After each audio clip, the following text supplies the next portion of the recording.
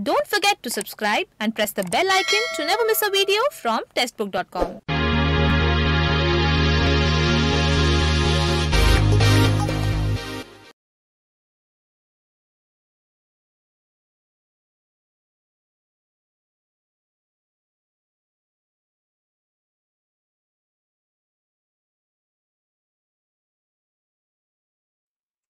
Hello, नमस्कार, good evening, स्वागत है आप सभी का एक बार फिर से टेक्स्टबुक.com के ऑफिशियल यूट्यूब चैनल पर।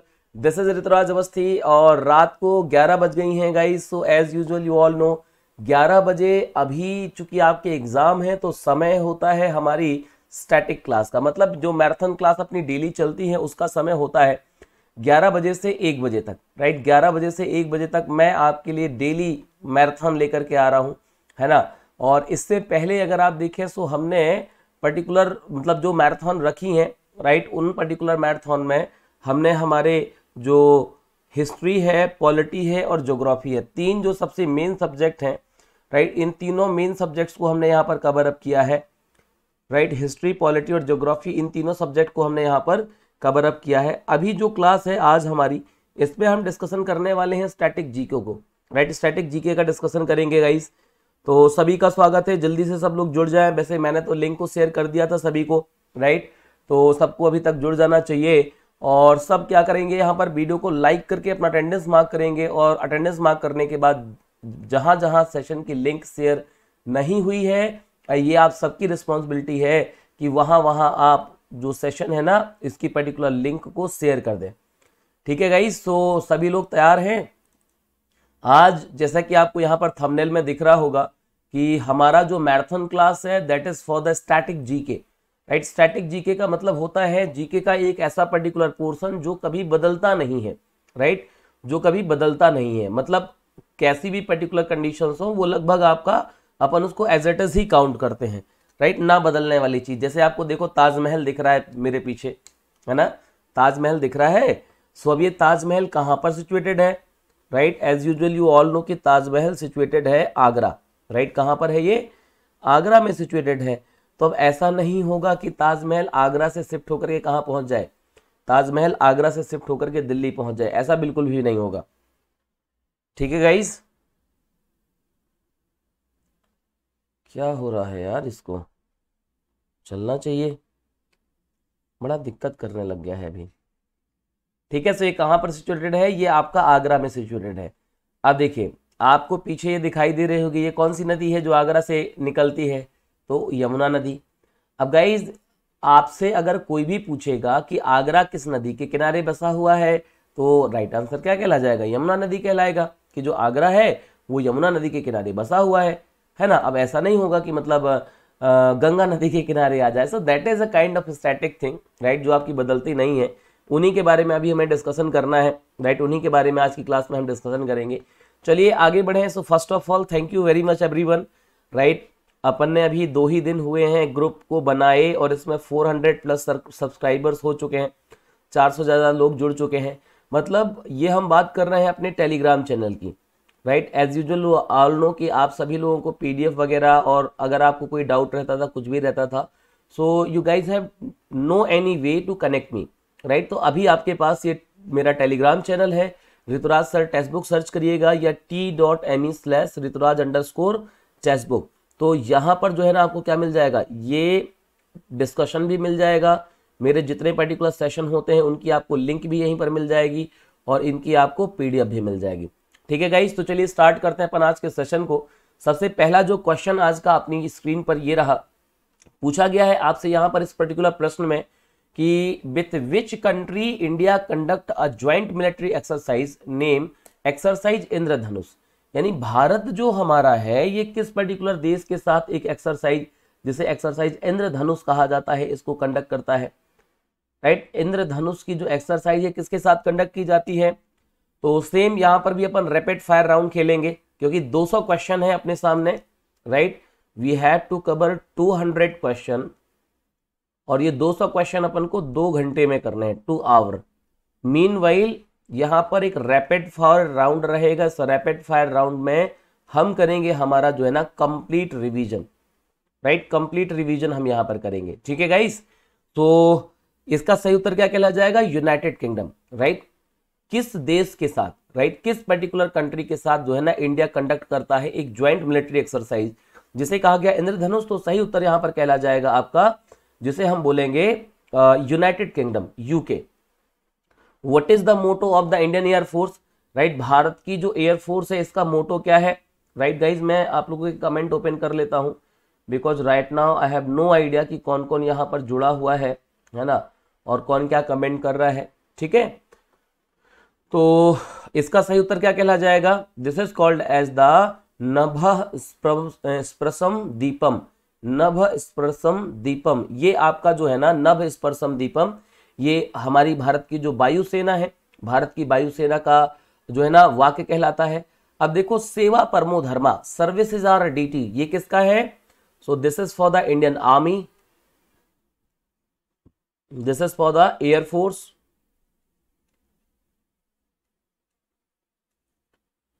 और सा नो वरुण सा नो वरुण आप सभी जानते हो कि ये हमारी कौन सी है? नेवी। राइट नेवी ठीक है? और जो भी आपके कॉप्स होते हैं आर्मी एयर डिफेंस के, यानी कि जिसको आकाशी सरतना जही कहा जाता है ना तो ये किसका है? Corps of army air defence corps of army air defence ये इसका आदर्श वाक्य कहलाता है। ठीक है गाइस चलिए आगे बढ़ते हैं। Which among the following is not a permanent partner of Malabar trilateral naval exercise Malabar में जो ट्राइलेटरल ट्रेवल एक्सरसाइज होती है, इसमें जो है ना स्थायी भागीदार कौन नहीं है? स्थायी भागीदार यहाँ पर कौन नहीं है, ये आपको बताना है। स्थायी भागीदार का गाइज़ मतलब क्या होता है? राइट यानी कि जो वहाँ पर परमानेंटली पार्ट लेता है राइट स्थायी रूप से पार्ट लेता है तो वो कौन कहला जाएगा? ठीक है? सो यहाँ पर देखिए, अभी 120 लोग ऑनलाइन दिख रहे हैं मुझे। 120 पीपल्स आर देयर और 120 लोग ऑनलाइन हैं। तो आई होप कि सबने अपना अटेंडेंस मार्क ज़रूर किया होगा by hitting the like button of the video इसका सही उत्तर आप देखेंगे चाइना राइट आंसर इसका क्या कहला जाएगा? चाइना चाइना जो है ना, ये इसका पार्ट नहीं है। यूनाइटेड स्टेट इंडिया और जापान देखो, जो आपका ट्राइलेटरल एक्सरसाइज है त्रिपक्षी में आपके तीन पर्टिकुलर देश होंगे। राइट? त्रिपक्षी में यहाँ पर जो है ना, कितने देश होंगे? सो यहाँ पर आपकी थ्री पर्टिकुलर कंट्रीज़ होंगी। और ये तीनों कंट्रीज़ हैं कौन कौन सी? सो तीनों कंट्रीज़ हैं United States of India right India and Japan तो गाइज़ सभी लोग अटेंडेंस ज़रूर मार्क करिएगा। आगे देखिए।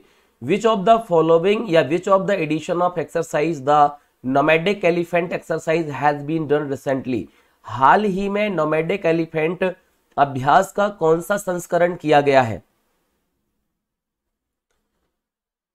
सो so, गीता इन्फॉर्म कर दो सभी को कि भाई अपना लॉबी यानी कि जो स्टार्ट हो चुका है स्टैटिक जीके का मैराथन राइट आंसर यहाँ पर कहला जाएगा आपका फोर्टींथ राइट चौदहवा जो एडिशन था ये Indo Mongolian joint military training है ठीक है? नोमेडिक का मतलब यहाँ पर किसका किसका है? ये इंडो यानी भारत एंड मंगोलियन यानी कि Mongolia. Indo Mongolian Indo Mongolian आपका ये जो है ना तो एक ज्वाइंट मिलिट्री ट्रेनिंग एक्सरसाइज कहलाती है, जिसको अपन नोमेडिक एलिफेंट कहते हैं। अच्छा देखो गाइज़ आपके एक मतलब की बात मैं आपको बताता हूँ। सभी लोग जुड़े हुए हैं तो आप सभी जानते हैं कि S S C C H S L ये काफ़ी इंपॉर्टेंट एग्ज़ाम होता है राइट क्योंकि यहाँ पे ट्वेल्थ पास वगैरह सब लोग पार्टिसिपेट करते हैं।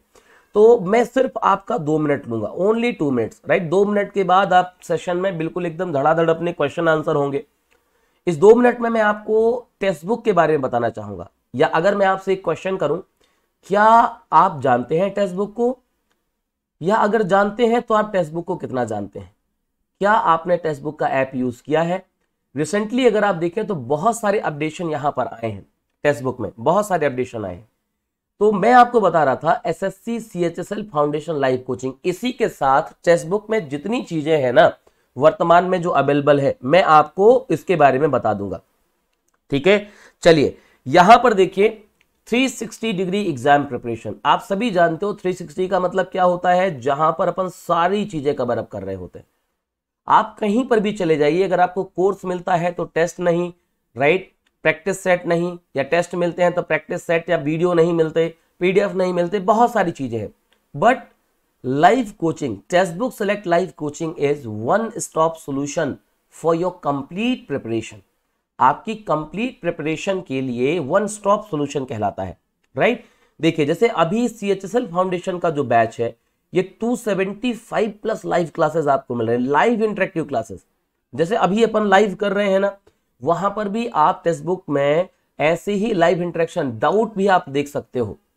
प्रैक्टिस सेट भी आपको हर क्लास के बाद उसका प्रैक्टिस सेट मिलता है। क्या होता है कि मान लो हमने कोई भी लाइव क्लास देखा, कोई भी वीडियो देखा वीडियो में हमने जो चीज़ें पढ़ी, उसमें से क्वेश्चन क्या बनना है? वैसे तो क्लास में क्वेश्चन होते हैं राइट लेकिन जो प्रैक्टिस सेट है, ये ये बताता है कि आपने वो टॉपिक जो आपको पढ़ाया गया है, वो कितना सीखा राइट अब बात आती है कि चलो ठीक है, अपन ने वीडियो देख लिया वीडियो के बाद प्रैक्टिस सेट लगा लिया। अब बारी आती है कि क्या जो हम वीडियो में पढ़ रहे हैं प्रैक्टिस सेट में जो चीज़ें हमने लगाई हैं, वो हमारे एग्ज़ाम स्पेसिफिक है एग्ज़ाम में आती हैं क्या? और एग्ज़ाम में आती हैं तो हमसे कितनी बन रही हैं? मतलब आज अगर एग्ज़ाम ले लिया जाए एसएससी के द्वारा तो हम कितने मार्क्स स्कोर कर सकते हैं? तो उसके लिए गाइज़ आपको इस पर्टिकुलर कोर्स के साथ ही मिलते हैं पचास से ज़्यादा टेस्ट देखो, आप लेटेस्ट पैटर्न पर आधारित यहाँ पर जो आपको टेस्ट मिल रहा है, इस टेस्ट को जब आप सॉल्व करोगे ना गाइज़ तो बिल्कुल हैंड पिक्ड क्वेश्चन होते हैं जो स्पेसिफिकली पिछले दस साल के एनालिसिस पर बेस्ड होते हैं राइट right? और गाइज़ जब आप टेस्ट देते हो तो टेस्ट की एनालिसिस सबसे बेस्ट होती है, क्योंकि आप कहाँ पर वीक हैं, आपकी क्या कमजोरियाँ हैं, ये आपको जब टेस्ट की एनालिसिस करेंगे, तब आपको पता चलता है, ठीक है और सबसे बड़ी चीज़, अब तो आपको नोट्स बनाने की भी ज़रूरत नहीं है टेक्स्ट बुक सेलेक्ट में जो भी पर्टिकुलर क्लास है, उसमें आपको सारे के सारे टॉपिक्स के पीडीएफ मिलते हैं। प्लस क्लास में जो पढ़ाया जाता है क्लास में जो अपन पीडीएफ यूज़ करते हैं पीपीटी वो भी आपको यहाँ पर मिल जाता है। राइट वो भी यहाँ पर आपको मिल जाता है। डाउट सॉल्विंग सेशन एक घंटे के अंदर, मान लो आपने कोई कोर्स परचेस किया है, आप लाइव नहीं देख पाए, आप रिकॉर्डेड देख रहे हैं, वहाँ पर आपको कोई डाउट हुआ। तो आप अपने कोर्स का जो डाउट सॉल्विंग सेशन है, उसमें आप कमेंट करिए। विद इन एन आवर एक घंटे के अंदर आपको आपका सोल्यूशन मिल जाएगा।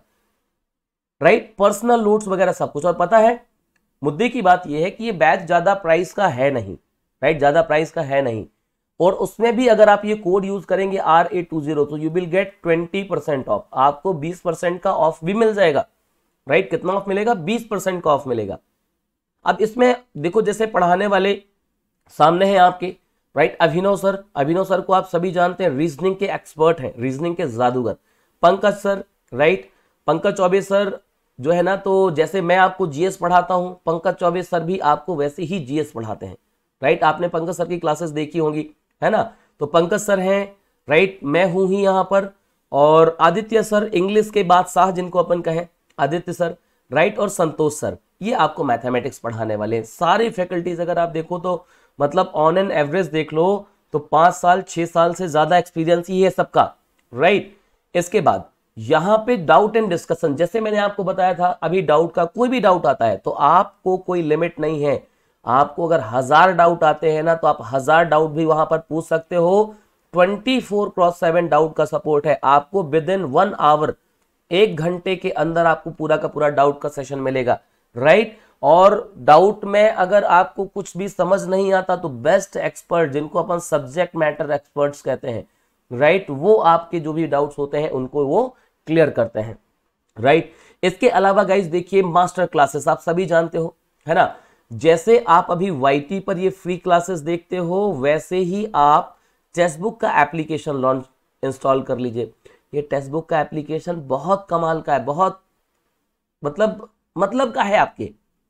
जब भी आप जाते हैं ना तो जैसे यहाँ पर आपको प्रॉपर क्लासेस मिलती same master classes free master classes आपको टेक्स्ट बुक के ऐप पर मिल रही होती हैं right all day all exam के लिए live polling practice quiz PDF और यहाँ पर जाकर के जैसे आप ये देख रहे हो ना तो यहाँ से आप इसका रिमाइंडर भी सेट कर सकते हो, कि कब ये क्लास होगी, उसका रिमाइंडर आपको जो है ना, तुरंत मिल जाएगा। इसके बाद देखिए यहाँ पर, अगर आप सिलेक्शन कैंप में जाते हैं मतलब अगर आप प्रिपरेशन कर रहे हैं, सब कुछ कर रहे हैं, उसके बावजूद अगर आप पर्सनलाइज गाइडेंस चाहते हैं राइट पर्सनलाइज गाइडेंस चाहते हैं तो गाइज़ आपको उन लोगों से इंटरेक्ट करने का मौका मिलेगा जिन्होंने इस एग्ज़ाम को क्रैक किया हुआ है राइट right? जिसको अपन बोलते हैं टेक्स्ट बुक कोच तो वो अपनी स्ट्रेटजीज आपकी क्या स्ट्रेटजी होनी चाहिए, सारी बातें आपको बताएँगे, ठीक है? और इसके बाद यहाँ पर देखिए, जो रिवीजन फीचर्स तो है ही आप बुकमार्क कर सकते हैं, किसी भी चीज़ को आप नोट्स बना सकते हैं स्क्रीन ले सकते हैं राइट राइट इंपॉर्टेंट नोट वगैरह सब कुछ आपको यहाँ पर मिलेगा इसमें। ठीक है तो गाइज़ ये आपके मतलब की बातें थी। सर, हर दिन। ओके शेख जी तो चलिए अपन बढ़ते हैं आगे। अगला क्वेश्चन आपका स्क्रीन पर आ चुका है। Which of the following is a UNESCO world heritage site निम्नलिखित में से कौन सी यूनेस्को की वर्ल्ड हेरिटेज साइट है? गाइज़ जल्दी से यहाँ पर सभी लोग क्या कर दीजिए, जिन्होंने भी अपना अटेंडेंस मार्क नहीं करा है सेशन को लाइक करके अपना अटेंडेंस ज़रूर मार्क कर दीजिएगा। राइट और गाइज़ अब अपन यहाँ पर जो है ना, बढ़ते हैं आगे, इसका राइट आंसर क्या कहला जाएगा? ऑल ऑफ़ द अब जब आप दार्जिलिंग हिमालयन रेलवे की बात करते हैं, कालका शिमला रेलवे की बात करते हैं, नीलगिरी माउंटेन की रेलवे की बात करते हैं तो सारे के सारे भारत में यूनेस्को की वर्ल्ड हेरिटेज साइट है। What is the name of the train that run first from the Bori Bunder to Thane अठारह में भारत में सबसे पहली बार ट्रेन चली थी, आप सभी को पता है राइट पहली बार ट्रेन चली थी। तो बोरी बंदर से थाने तक चलने वाली ट्रेन का नाम क्या था? मतलब देखो, आपको ये तो पता था कि भारत में सबसे पहली बार ट्रेन अठारह में चली थी, और ये भी पता होगा, ये अराउंड 30 किलोमीटर के आसपास ट्रेन चली थी 34 किलोमीटर के आसपास ट्रेन चली थी। लेकिन उस ट्रेन का नाम क्या था? बहुत कम लोगों को पता होगा उसे ग्रेट इंडियन पेनिनसुला रेलवे कहा जाता था। ग्रेट इंडियन पेनिनसुला रेलवे कहा जाता था। Name the railway station in India having the longest platform. Bharat में कौन सा रेलवे स्टेशन है जिसमें सबसे बड़ा प्लेटफॉर्म है? देखो गाइज़ जो आपके ऑप्शन में है, जब आप ऑप्शन वाले को लेंगे तो इसका राइट आंसर क्या कहला जाएगा? जब आप ऑप्शन वाले को देंगे तो इसका राइट आंसर यहाँ पर कहला जाएगा गोरखपुर। राइट वैसे अभी हुगली भी है जो आपका बन रहा है Hooghly. Who among these is known as the father of Indian Railway भारतीय रेलवे के पिता के तौर पर किसको जाना जाता है? सुगाइज डलहौजी क्योंकि अठारह में जब भारत में ट्रेन चली थी उस समय भारत का जो गवर्नर जनरल कौन था? डलहौजी था। Pardhauni dance is mainly perform by which tribal community Pardhauni नृत्य मुख्य रूप से किस आदिवासी समुदाय द्वारा किया जाता है? सो so, इसका सही उत्तर आप देखिए बैगा राइट बैगा समुदाय जो है ये मेजरली आपका इस परधौनी डांस को परफॉर्म करता है, परधौनी डांस को यहाँ पर ये परफॉर्म करता है। ये मंडला, बालाघाट, खंडवा जो डिस्ट्रिक्ट है मध्य प्रदेश के, वहाँ पे सबसे ज़्यादा पाए जाते हैं। Recently the term Brus has been in the news widely it is हाल ही में ब्रूस शब्द व्यापक रूप से समाचारों में चर्चित रहा है। यह है फोल्क डांस, जिसको पीबीटी कहा जाता है, यानी particularly vulnerable tribal group festival प्लेश इसका सही उत्तर देखिए तो राइट आंसर कहला जाएगा पीबीटी यानी कि a particularly vulnerable tribal group कहला जाता है। ठीक है ये जो आपका कहाँ पर जिसे ब्रूस कहा गया राइट ये काफ़ी चर्चा में था। और इसको आ, रिंग्स के नाम से भी रेफर करा जाता है। त्रिपुरा आसाम मणिपुर और मिजोरम वाले रीजन में सबसे ज़्यादा पाया जाता है। Tangams are a little known community within the larger Adi tribe as particularly found in Tangam मुख्य रूप से बड़े आदि जनजाति के भीतर एक छोटे से ज्ञात समुदाय में पाए जाते हैं। असम, नागालैंड, अरुणाचल प्रदेश, मणिपुर। कहाँ पर पाए जाते हैं यह आपको बताना है।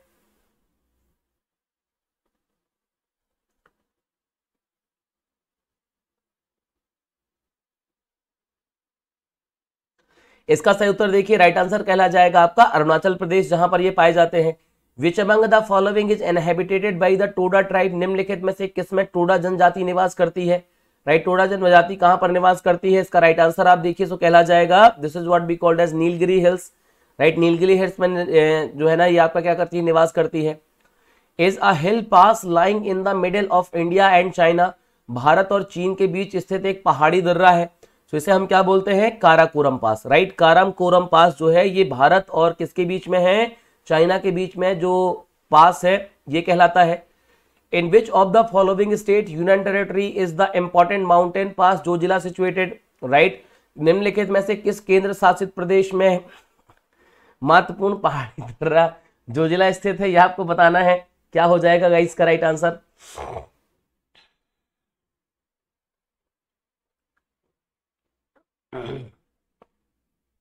तो क्या कहला जाएगा इसका सही उत्तर?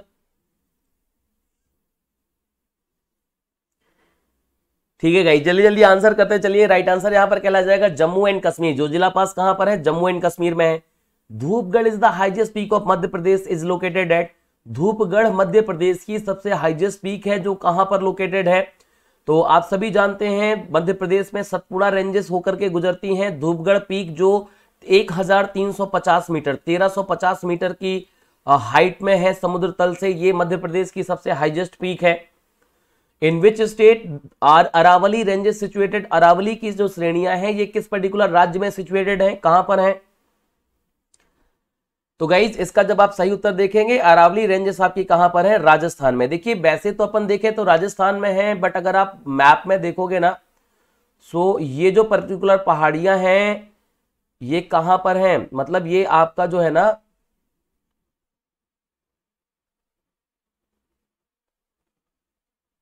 सॉरी यार मैप गड़बड़ी बन गया।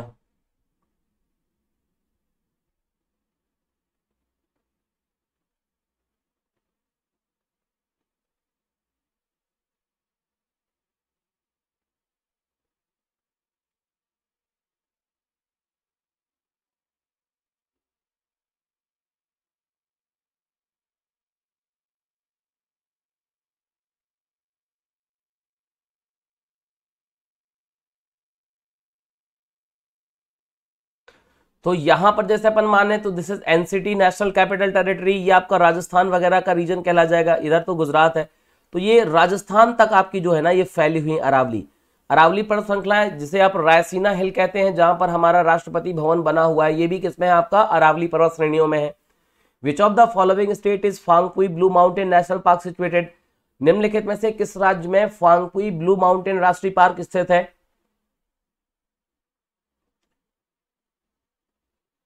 ठीक है, बिल्कुल मैप के लिए ले लेंगे। Very good Rishabh very good इसका सही उत्तर कहला जाएगा Mizoram right mountain national park कहाँ पर सिचुएटेड है? फांगपुई, मिजोरम में। Mouling national park is located in which state Mouling राष्ट्रीय उद्यान निम्नलिखित में से कहाँ पर स्थित है? सो गाइज़ इसका सही उत्तर आप देखिए, कहला जाएगा अरुणाचल प्रदेश। मॉलिंग नेशनल पार्क कहाँ पर है? आपका अरुणाचल प्रदेश में स्थित है।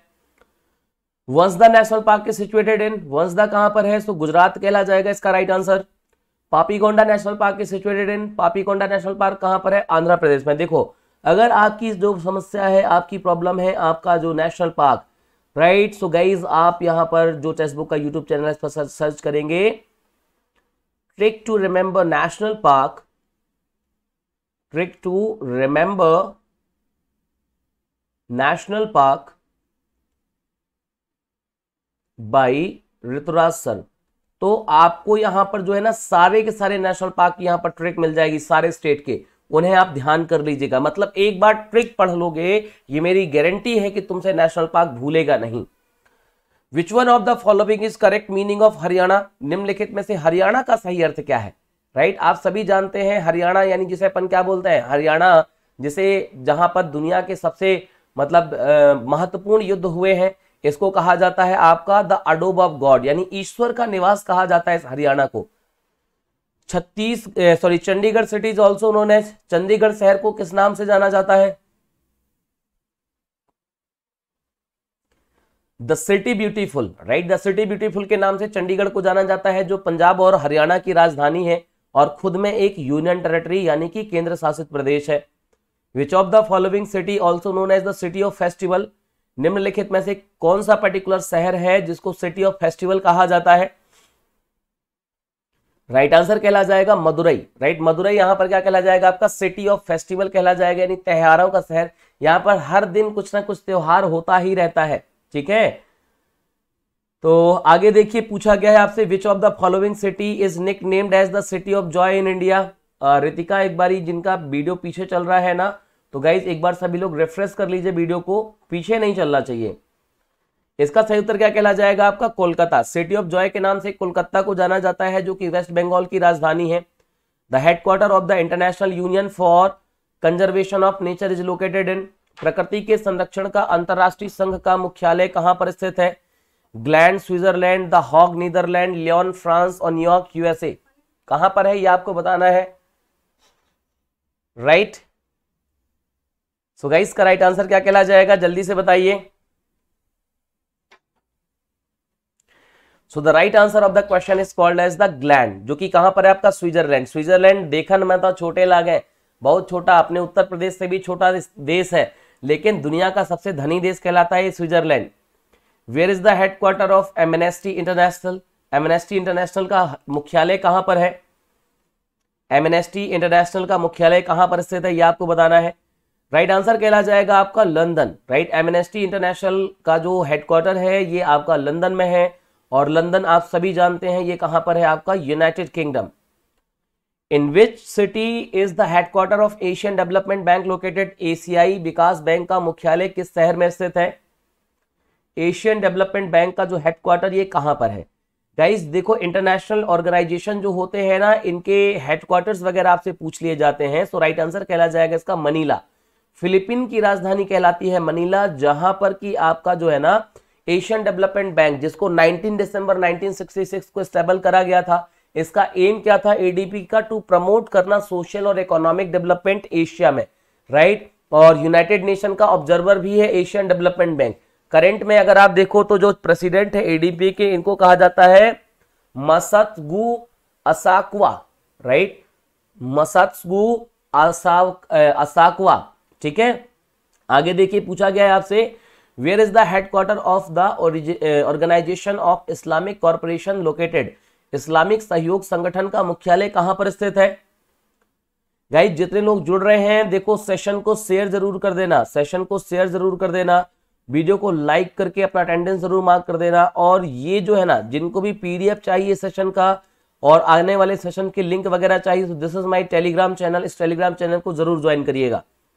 राइट आंसर कहला जाएगा जैदा राइट हेडक्वार्टर जो आपका इस्लामिक कॉर्पोरेशन का है, कहाँ पर है? जैदा में है. इसको 1969 में फाउंड किया गया था. ऑर्गेनाइजेशन ऑफ़ इस्लामिक कॉर्पोरेशन 1969 में फाउंड हुई थी. इसके 57 कंट्रीज़ हैं मेंबर इस पर्टिकुलर वर्ल्ड में. Right right? और इसका सबसे बड़ी शर्त यह है कि इसका कोई भी पर्टिकुलर पार्टनर बनता है वही देश जो कि आपका मुस्लिम नेशन है. Right right? ऐसे मुस्लिम नेशन अगर आप देखें तो कितने? टोटल 57 मेंबर कंट्रीज़ हैं इसकी। What is the capital of Bahrain Bahrain की राजधानी क्या है?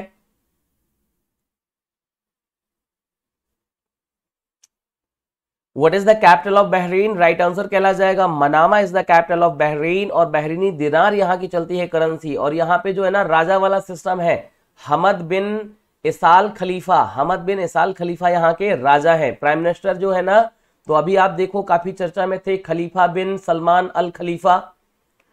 Which of the following country have their capital with the same name निम्नलिखित में से कौन सा पर्टिकुलर एक देश है जिसकी राजधानी उसी के नाम पर है?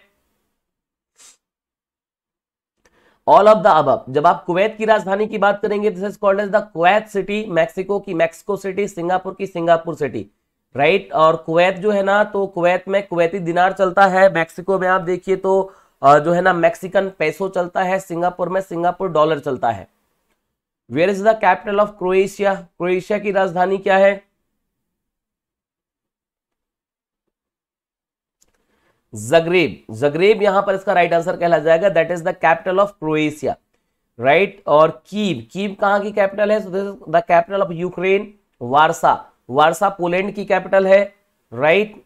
वारसा कहाँ की है? पोलैंड की कैपिटल है। Which of the following is the capital of Sweden निम्नलिखित में से स्वीडन की राजधानी क्या है? ए, बाबू सोना वालो देखो कमेंट बॉक्स में गंदगी ना फैलाना।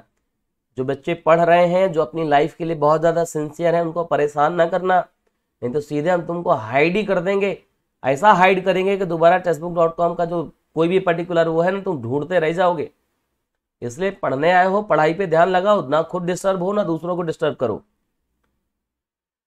इसका राइट आंसर देखिए स्टॉकहोम इसका राइट आंसर कहला जाएगा राइट स्टॉकहोम इसका राइट आंसर कहला जाएगा। This is the capital of Sweden right Swedish यहाँ की ऑफिशियल लैंग्वेज है और जो है ना, यहाँ पर अगर आप देखोगे तो स्वीडिश कोरोना स्वीडिश कोरोना यहाँ पर क्या चलती है? करेंसी ठीक है? जब आप बर्लिन की बात करेंगे तो जर्मनी की कैपिटल है ट्यूनिस कहाँ की कैपिटल है? ट्यूनिशिया की और अंकारा जो कैपिटल है टर्की की। आगे देखिए, पूछा गया है which of the following river is known as the Dakshin Ganga, निम्नलिखित में से किस नदी को दक्षिण गंगा के नाम से जाना जाता है? अब देखो, कल जब मैं ज्योग्राफी पढ़ा रहा था, तब Dakshin Ganga in terms of purity पूछा था। आज वो नहीं पूछा है राइट आंसर क्या कहला जाएगा? गोदावरी कहला जाएगा राइट हाँ जी संतोष जी, बिल्कुल डिफरेंस होता है। ठीक है, बिल्कुल डिफरेंस होता है wildlife sanctuary national park में। Which city is known as the wine capital of India निम्नलिखित में से किस शहर को शराब राजधानी के तौर पर जाना जाता है?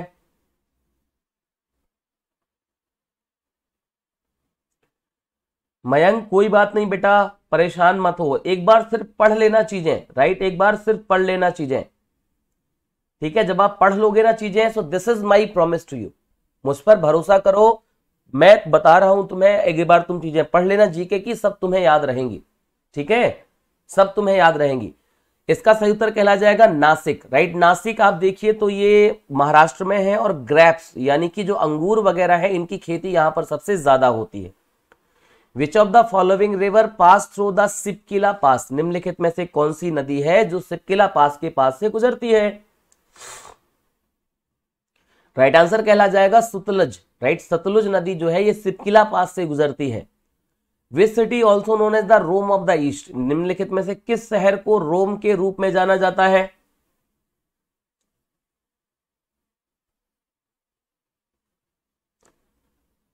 इसका सही उत्तर देखिए, कहला जाएगा बैंगलोर राइट मंगलोर इसका राइट आंसर कहला जाएगा, जिसको अपन क्या बोलते हैं? रोम ऑफ़ द ईस्ट कहते हैं। Korba super thermal power station located in Korba super thermal power station कहाँ पर स्थित है? इसका सही उत्तर आप देखिएगा इस राइट आंसर कहला जाएगा छत्तीसगढ़। कोरबा कहाँ पर है? छत्तीसगढ़ में है। Which is the largest thermal power station in India Bharat का सबसे बड़ा जो थर्मल पावर स्टेशन है, ये कौन सा है?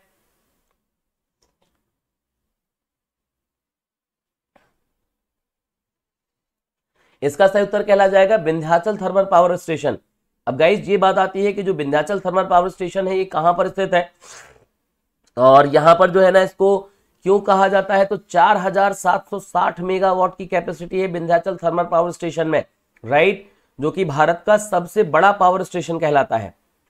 With the support of which country is the Rawat Bhata nuclear power plant set up in Rajasthan Rajasthan में रावत भाटा परमाणु संयंत्र किसके सहयोग से बनाया गया? तो राइट आंसर यहाँ पर कहला जाएगा कैनेडा राइट कनाडा के सहयोग से भारत में जो है ना रावत भाटा जो कहाँ पर है? राजस्थान में इसको स्टेबल किया गया।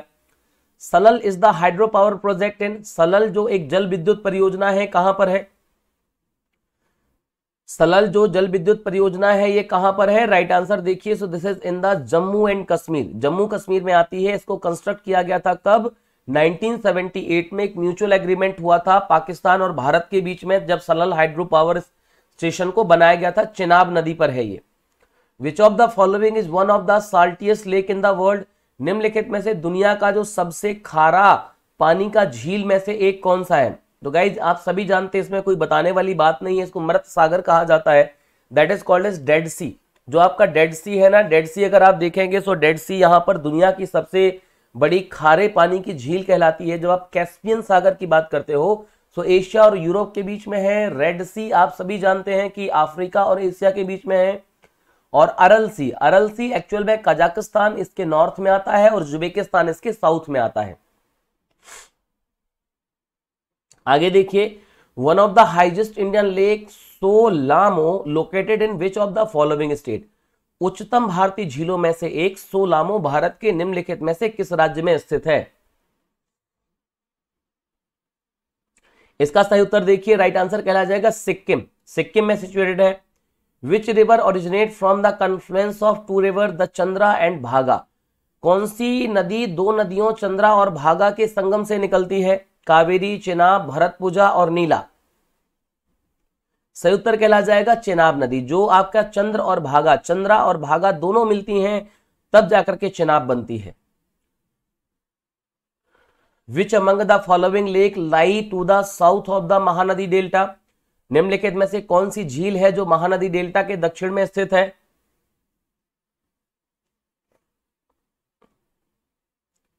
चिल्का झील कहते हैं that was situated in the Mahanadi delta. और ये जो महानदी है, इस महानदी पर भारत का सबसे लॉन्गेस्ट डैम बना हुआ है, सबसे लॉन्गेस्ट डैम जिसे हम क्या बोलते हैं? जिसे हम कहते हैं हीरा कुंड राइट जिसे हम कहते हैं हीरा कुंड ये बना हुआ है। Yana waterfalls is located in which of the following state of India Yana झरना भारत के निम्नलिखित में से किस राज्य में स्थित है? गुजरात, कर्नाटक, महाराष्ट्र और केरल। सो गाइज़ इसका सही उत्तर आप देखें राइट आंसर क्या कहला जाएगा? महाराष्ट्र। यन्ना वाटरफॉल्स देखो वाटरफॉल्स की बात की जा रही है। वाटरफॉल्स पर एग्ज़ाम में क्वेश्चन आपसे बनते ही हैं। यन्ना वाटरफॉल काफ़ी इंपॉर्टेंट है, जो कहाँ पर है? महाराष्ट्र में सिचुएटेड है। और ये ध्यान रखिएगा, महाबलेश्वर, नर्मदा नदी के द्वारा फॉर्म की जाती है ये। यन्ना वाटरफॉल्स कहाँ पर है? महाबलेश्वर डिस्ट्रिक्ट में आती है, महाराष्ट्र के और नर्मदा नदी के द्वारा इसको फाउंड किया जाता है। Among the following dam which one is the longest निम्नलिखित बांधों में से कौन सा बाँध सबसे लंबा है? तो गाइज़ अभी मैंने आपको बताया, हीराकुंड बाँध, ये सबसे लंबा है जो 25.8 किलोमीटर। 25.8 किलोमीटर 25.8 किलोमीटर में फैला है ये आपका, जिसको हम क्या बोलते हैं हीराकुंड बाँध जो सबसे लॉन्गेस्ट डैम है। भाखरा नागल डैम 520 मीटर है, रंजीत सागर 617 मीटर, और नागार्जुना सागर जो है आपका तो ये 1550 मीटर आता है। Which one of the following dam built on the river Chambal is not located in Rajasthan Chambal नदी पर निर्मित कौन सा बाँध राजस्थान में स्थित नहीं है? हाइट वाला। देखो, दोनों में कंफ्यूज ना होना। लॉन्गेस्ट का मतलब क्या होता है? लॉन्गेस्ट का मतलब होता है लंबा। यानी कि लेंथ वाइज जिसको आप कहें। ये लॉन्गेस्ट कहला जाएगा, जो लेंथ वाइज होता है। राइट और हाइजेस्ट का मतलब क्या होता है? जो सी लेवल है ना, समुद्र तल। राइट समुद्र तल से ऊंचाई पर आ जाता है। तो टहरी ड्रेन सी लेवल से ऊंचाई पर है, ठीक है? अरे यार, तुम लोग मतलब क्या कंफ्यूजन है तुम लोगों को? पता ही नहीं चलता। राइट आंसर इसका कहला जाएगा? गांधी सागर। चंबल नदी पर जो निर्मित बाँध है, इसे हम क्या बोलते हैं? This is what we called as the Gandhi Sagar बाँध जो कि कहाँ पर स्थित है आपका? चंबल नदी में गांधी सागर बाँध स्थित है। Dhurwara dam is located in located on which of the following river Dhurwara बाँध निम्नलिखित में से किस नदी पर स्थित है? कोटा भी राजस्थान में है यारो। गांधी है जो एमपी है। क्या ये? कोटा राजस्थान में है। आ, वहाँ पे देखो रितिका मैंने ये महाबलेश्वर नहीं कहा। महाबलेश्वर डिस्ट्रिक्ट कहा है राइट महाबलेश्वर डिस्ट्रिक्ट कहा है ठीक है? महाबलेश्वर नहीं कहा महाबलेश्वर डिस्ट्रिक्ट की बात करी गई है। इसका सही उत्तर कहला जाएगा Betwa. Very good Tejas. Betwa इसका राइट आंसर कहला जाएगा। बेतवा नदी जो है ना वालेकुम असलम इकरा जी कैसे हैं आप? दुधवारा डैम कहाँ पर लोकेटेड है? बेतवा नदी पर। देखिए, बेतवा नदी जो है, ये मध्य प्रदेश से होकर के निकलती है और यहाँ पर आप देखो तो इसी में जो है, ये पर्टिकुलर डैम बना हुआ जिसको दुधवारा बाँध कहा जाता है। और बेसिकली ये ललितपुर ललितपुर जो है ना मतलब उत्तर प्रदेश में आ जाता है बट वो डैम कहाँ पर बना हुआ उसके पास ही मध्य प्रदेश में। Bihar Diwas is annually celebrated on to commemorate the day Bihar was carved out from the Bengal presidency Bihar Diwas प्रतिवर्ष को मनाया जाता है, जिस दिन बिहार को बंगाल अध्यक्षता से बाहर किया गया था। ऋतु रंजन राय जी, पीडीएफ चाहिए ना? राइट पीडीएफ चाहिए तो this is the Telegram channel Telegram में जाकर के सर्च करना, ऋतुराज अंडर को अंडर स्कोर टेक्स्ट बुक या ये सर्च कर लेना। Rituraj sir underscore text book ठीक है? तो यहाँ पर आपको मेरे सारे सेशन का लिंक और पीडीएफ मिल जाएगा। अब ये तुम लोग मैनेज करते चलना, कोई भी पीडीएफ वाला आए ना तो ये बता देना उसको। इसका सही उत्तर क्या कहला जाएगा? ट्वेंटी सेकेंड मार्च, बाईस मार्च को बिहार दिवस मनाया जाता है, क्योंकि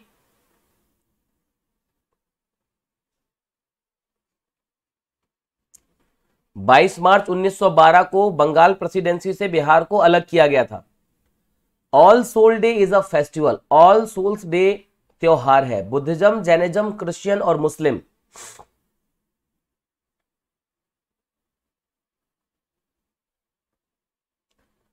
आदर्श लिंक बिल्कुल तुम, अरे तुमको पीडीएफ मिल जाएगा यार यहाँ पर, पीडीएफ मिल जाएगा। ये लिंक ही है। टेलीग्राम चैनल की लिंक है ये टेलीग्राम चैनल की। ठीक है, अभी मैंने परसों ही टेलीग्राम चैनल बनाया है और इसमें 450 से ज़्यादा सब्सक्राइबर हो चुके हैं। ठीक है, तुम लोग भी जुड़ो। यहीं पर सब कुछ मिलेगा तुम्हें। राइट आंसर कहला जाएगा क्रिस्टियनिटी ऑल सोल डे जो फेस्टिवल है, ये किसके उसमें मनाया जाता है? क्रिस्टियनिटी के उसमें मनाया जाता है। राइट होली सोल या फेथफुल डिपार्टेड उनके उसमें जो है ना मनाया जाता है इसको। International yoga Diwas is celebrated every year on right अंतरराष्ट्रीय योगा दिवस हर साल को मनाया जाता है। राइट अंतरराष्ट्रीय योगा दिवस ये हमारे भारत का ही इनिशिएटिव है। और ये साल मतलब 11 दिसंबर 2014 को यूनाइटेड नेशन में जो है ना मतलब ये प्रस्ताव रखा गया था और इसे एक्सेप्ट कर लिया गया था राइट जो कि ट्वेंटी फ़र्स्ट जून को हर साल मनाया जाता है योगा दिवस। ठीक है? योगा दिवस। आगे देखिए which of the following gas was released during the Bhopal gas tragedy जब भोपाल गैस ट्रेजिडी हुई थी तो कौन सी गैस रिलीज़ हुई थी? मतलब देखो, क्या ही हुआ था।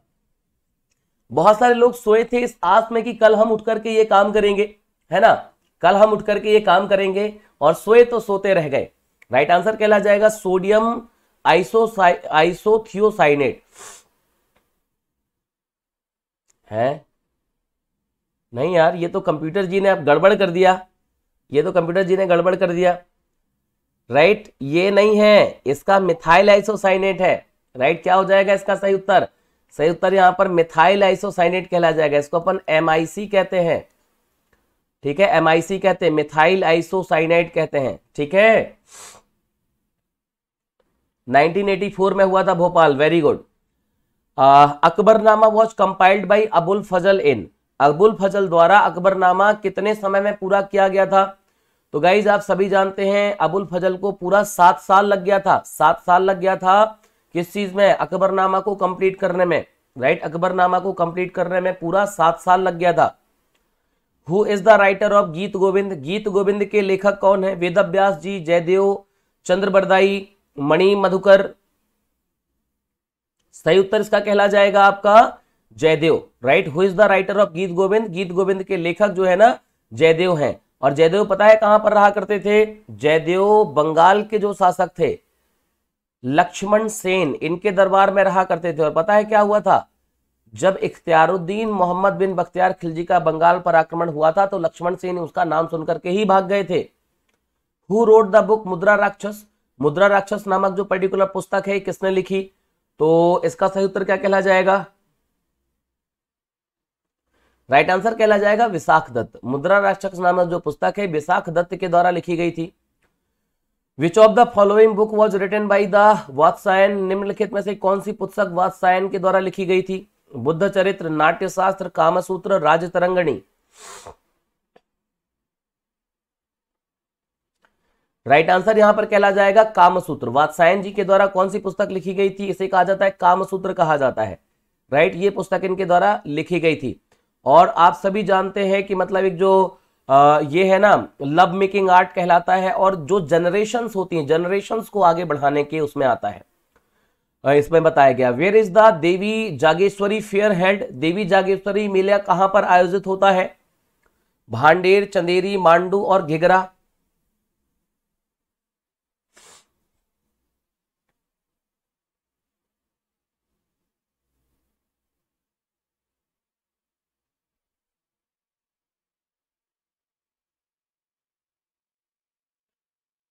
मैथ वाला गोविंद जी आ, देखो आ, इस तरह से तो कमेंट बॉक्स में आप लिखोगे so guys I can't help you out right मैं आपसे रिक्वेस्ट करूँगा कि आप अगर टेलीग्राम यूज़ करते हो तो आप ये टेली मतलब अगर आप वीडियो देख रहे हो तो आई होप कि आपके पास फ़ोन ज़रूर होगा।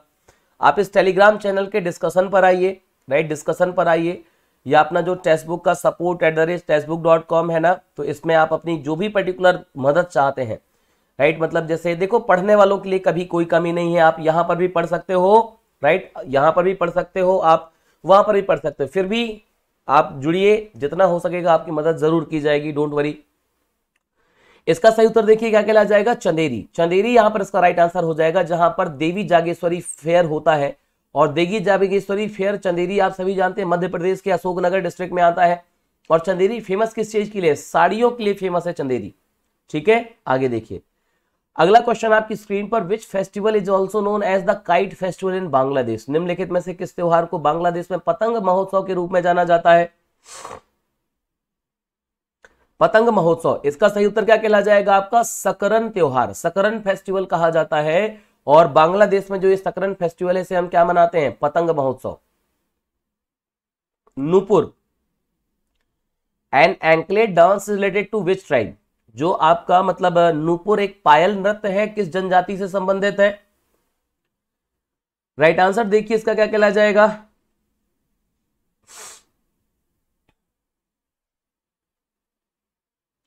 इसका सही उत्तर देखिए राइट आंसर कहला जाएगा मुंडा। मुंडा ट्राइब से रिलेटेड है आपका नूपुर। डांस जो है Losar festival is celebrated by which of the following religion Losar त्योहार निम्न में से किस धर्म के द्वारा मनाया जाता है? सिखिज्म बुद्धिज्म, जैनिज्म और हिंदुज्म। इसका राइट आंसर देखिए, कहला जाएगा बुद्धिज्म। राइट जो आपका लोसार फेस्टिवल है, बुद्धिज्म के उसमें मनाया जाता है। Who is the first Indian author to get the Andersen award निम्नलिखित में से कौन से पहले भारतीय हैं जिनको एंडरसन अवार्ड से सम्मानित किया गया था? सो राइट आंसर देखिए रस्किन बॉन्ड रस्किन बॉन्ड जो है ना, इनको एंडरसन अवार्ड से सम्मानित किया गया था। Of the following is India's highest award in cinema given annually by the government of India for lifetime contribution in the Indian cinema भारतीय सिनेमा में आजीवन योगदान के लिए भारत सरकार द्वारा वार्षिक रूप से दिया जाने वाला भारत का सबसे बड़ा सिनेमा पुरस्कार कौन सा होता है? आप सभी जानते हैं गाइज़ इसको दादा साहब फाल्के अवार्ड कहा जाता है, जो भारत सरकार के द्वारा दिया जाता है। With which of the following sport the Murugappa gold associated Murugappa gold cup निम्नलिखित में से किस खेल के साथ संबंधित है? हॉकी, बैडमिंटन, गोल्फ और क्रिकेट। मुरुगप्पा की बात की जा रही है, राइट आंसर क्या कहला जाएगा इसका? सही उत्तर यहाँ पर कहला जाएगा हॉकी। राइट, हॉकी इसका राइट आंसर कहला जाएगा, जिससे क्या सिचुएटेड है आपका? मुर्गप्पा एसोसिएटेड है। आगे देखिए, पूछा गया है आपसे Murti Devi award is given in the field of जो मूर्ति देवी अवार्ड है, ये किस पर्टिकुलर फ़ील्ड में दिया जाता है? Right right? Moorti Devi award किस पर्टिकुलर फ़ील्ड में दिया जाता है? राइट आंसर यहाँ पर कहला जाएगा लिटरेचर। साहित्य के क्षेत्र में जो पर्टिकुलर पुरस्कार है, जिसको मूर्ति देवी कहा गया, ये दिया जाता है। Identify the national sport of Sri Lanka. Sri Lanka का नेशनल स्पोर्ट क्या कहलाता है?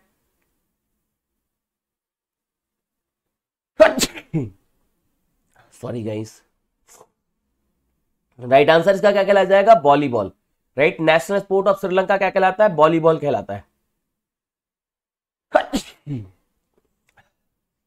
Queensberry rules is code of rules that directly influence which of the following state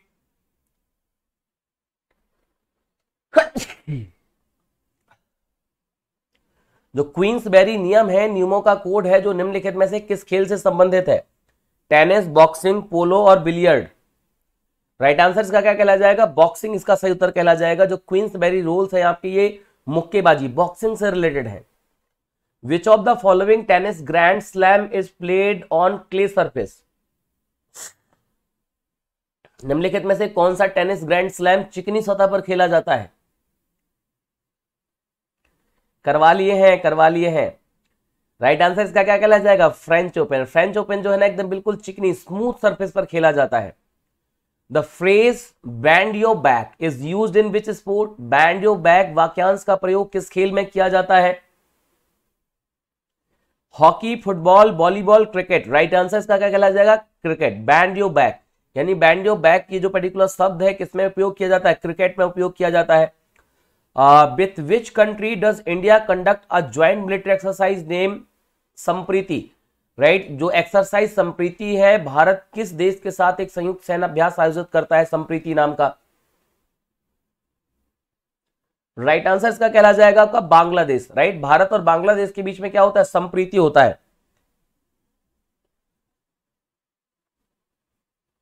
Who among the following was the first army officer of independent India to be conferred the rank of field marshal निम्नलिखित में से कौन स्वतंत्र भारत के पहले सेना अधिकारी थे जिन्हें फ़ील्ड मार्शल के पद से सम्मानित किया गया था?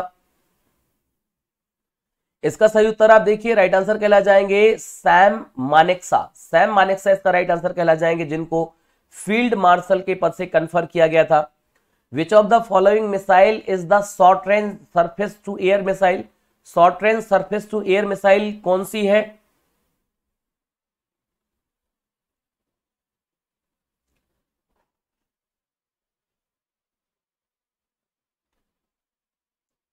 अरे फेस चेंज नहीं हुआ है। सेविंग कर लिए हैं। राइट आंसर यहाँ पर क्या कहला जाएगा? मैत्री मिसाइल। राइट जो कम दूरी की सतह से हवा में वार करने वाली मिसाइल है, उसे मैत्री मिसाइल कहा जाता है।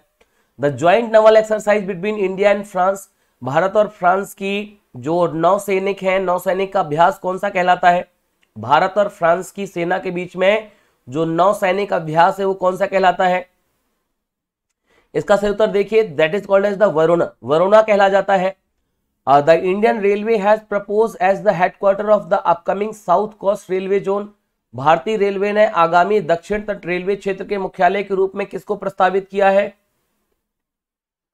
राइट right आंसर इसका देखिए, कहला जाएगा विशाखापट्टनम। राइट विशाखापट्टनम इसका सही उत्तर कहला जाएगा, जो आपका upcoming south coast railway zone है। इसका हेडक्वार्टर कहाँ पर बनेगा? विशाखापट्टनम में।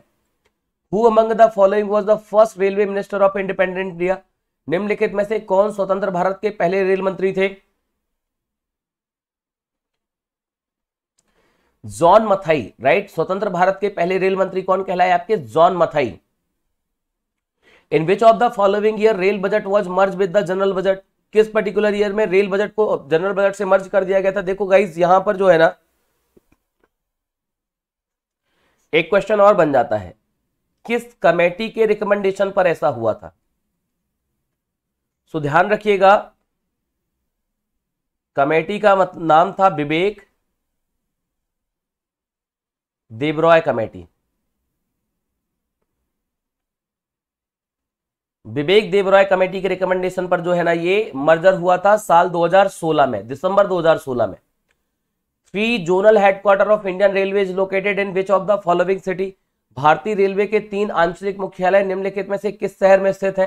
तीन आंचलिक मुख्यालय। तो राइट आंसर इसका कलकत्ता कहला जाएगा राइट भारतीय रेलवे के जो तीन जो आंचलिक मुख्यालय हैं, ये कहाँ पर स्थित है? कलकत्ता में स्थित है। और ये कौन कौन से आपके जो है ना, रेलवे जोन है तो south eastern railway eastern railway और कोलकाता मेट्रो ये तीनों के हेडक्वार्टर कहाँ पर है? कोलकाता में है। The Dogra inhabit mainly Dogra मुख्य रूप से कहाँ पर निवास करते हैं? From southern Pir Punjab region to Punjab plain, Kashmir valley, northern Kashmir plain और पुंछ। गाइज़ जितने लोग नए जुड़ रहे हैं, वीडियो को लाइक करके अपना अटेंडेंस ज़रूर मार्क करिएगा सेशन को शेयर कर दीजिएगा राइट सेशन को शेयर कर दीजिएगा। क्लास देखो डेली मैं रात में 11 बजे से 1 बजे तक रखता हूँ सो so दैट आपको कहीं ना जाना पड़े, बस लेट करके सोते सोते जो है ना मोबाइल भी देखते रहोगे तो कुछ ना कुछ तो तुम्हारे दिमाग में एंटर होगा ही। राइट आंसर इसका कहला जाएगा the southern Pir Panjal region of the Punjab plain दक्षिण पीर पंजाल क्षेत्र से पंजाब के मैदानों तक राइट right? ये आपके कौन है? डोंगरा इनहेबिटेट करते हैं। Which one of the following is the most under developed tribe of India निम्नलिखित में से कौन सी भारत की सबसे अविकसित जनजाति है?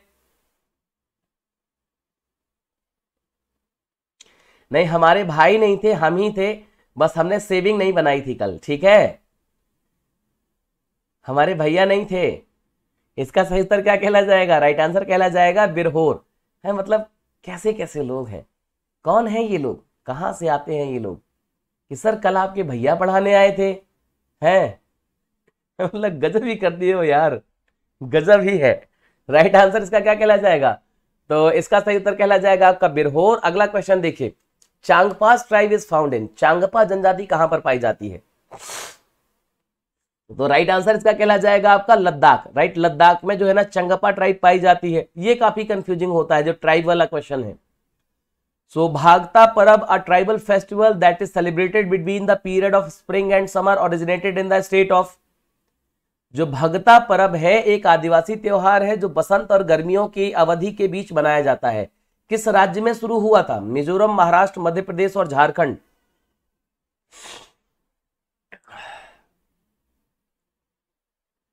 राइट आंसर यहाँ पर क्या कहला जाएगा? झारखंड इसका सही उत्तर कहला जाएगा। Bhagta Parab, Jharkhand. Which of the following option is the has the correct sequence of the mountain range from the north to south in India निम्नलिखित में से कौन सा विकल्प भारत में उत्तर से दक्षिण तक पर्वत श्रृंखलाओं का सही अनुक्रम है? सही उत्तर कहला जाएगा इसका। राइट आंसर जिसको बोला गया, काराकोरम, लद्दाख, जस्कर और शिवालिक। नॉर्थ से साउथ की बात करी गई है, नॉर्थ से साउथ। तो सबसे नॉर्थ में कौन आता है पहले? काराकोरम। काराकोरम से नीचे कौन सा है? काराकोरम से नीचे आपका लद्दाख आ जाता है। लद्दाख के नीचे आता है जस्कर। जस्कर और शिवालिक के के बाद जस्कर के बाद आता है आपका शिवालिक जस्कर और शिवालिक के बीच में ही कौन है? Dehradun, Patlidun, Kotlidun.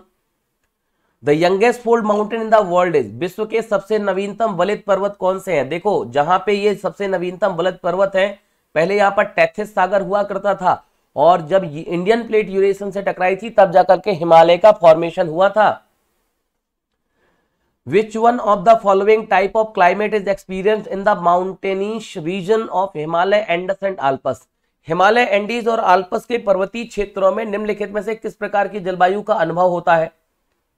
किस प्रकार की जलवायु है जिसका अनुभव होता है? सो गाइज़ राइट आंसर यहाँ पर देखिए this is what be called as the tropical climate इसको हम क्या बोलते हैं? ट्रॉपिकल क्लाइमेट कहते हैं, यानी उष्ण कटिबंधीय जलवायु।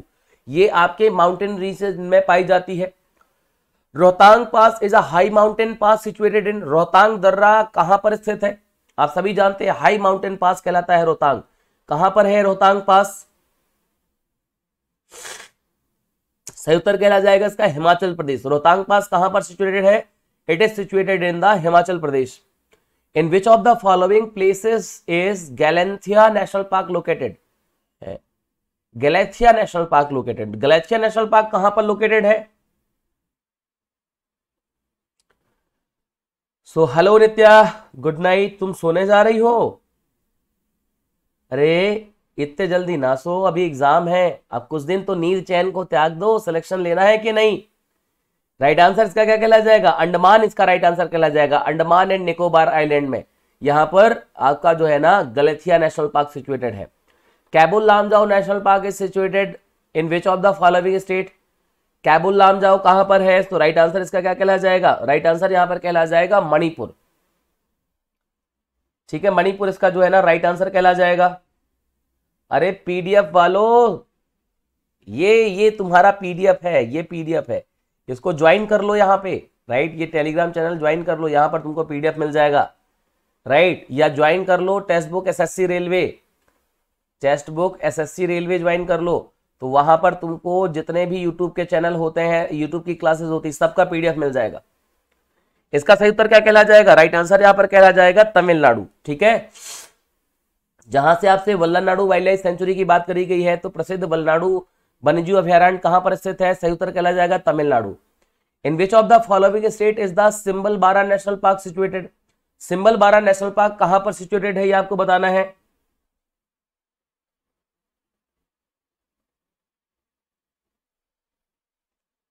इसका सही उत्तर क्या कहला जाएगा? राइट आंसर यहाँ पर कहला जाएगा हिमाचल प्रदेश राइट हिमाचल प्रदेश में सिंबल बारा नेशनल पार्क है। Match the following city with their nick name आपको जो फॉलोइंग सिटी है, इनको इसके निक नेम के आधार पर सेट करना है। सो so गाइज़ यहाँ पर देखो निक नेम जो है ना, ये आपको बताना है। अब किसका निक नेम क्या होगा? मिलाओ जरा इसको।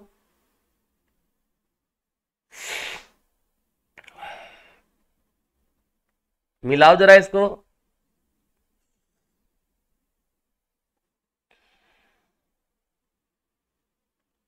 देखो, जो कुर्ग है ना, इसको अपन क्या बोलते हैं? स्कॉटलैंड ऑफ़ इंडिया कहा जाता है कुर्ग को, है ना? दार्जिलिंग को कहा जाता है queen of hills. Dhanbad Dhanbad को कहा जाता है the coal capital of India. और जो गुंटूर है, इसको क्या बोला जाता है? City of the chillies. मतलब इसका क्या हो जाएगा? पहले का सी।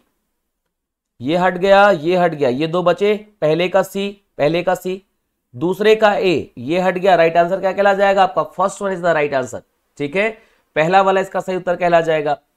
Which city in India is also known as the pink city गुलाबी शहर के नाम से किसको जाना जाता है? तो सभी लोग जानते हैं गुलाबी शहर किसको अपन बोलते हैं? ये कहला जाता है जयपुर। जयपुर को अपन पिंक सिटी यानी गुलाबी शहर कहते हैं। Which of the following hill station is known as the Venice of the east निम्नलिखित में से किस हिल स्टेशन को पूर्व का वेनिस कहा जाता है?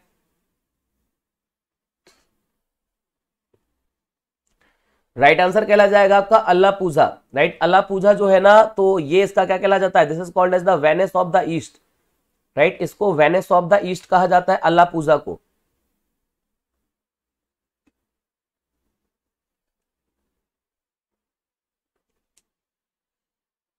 आगे देखिए is known as the golden city निम्नलिखित में से किसे गोल्डन सिटी के तौर पे जाना जाता है?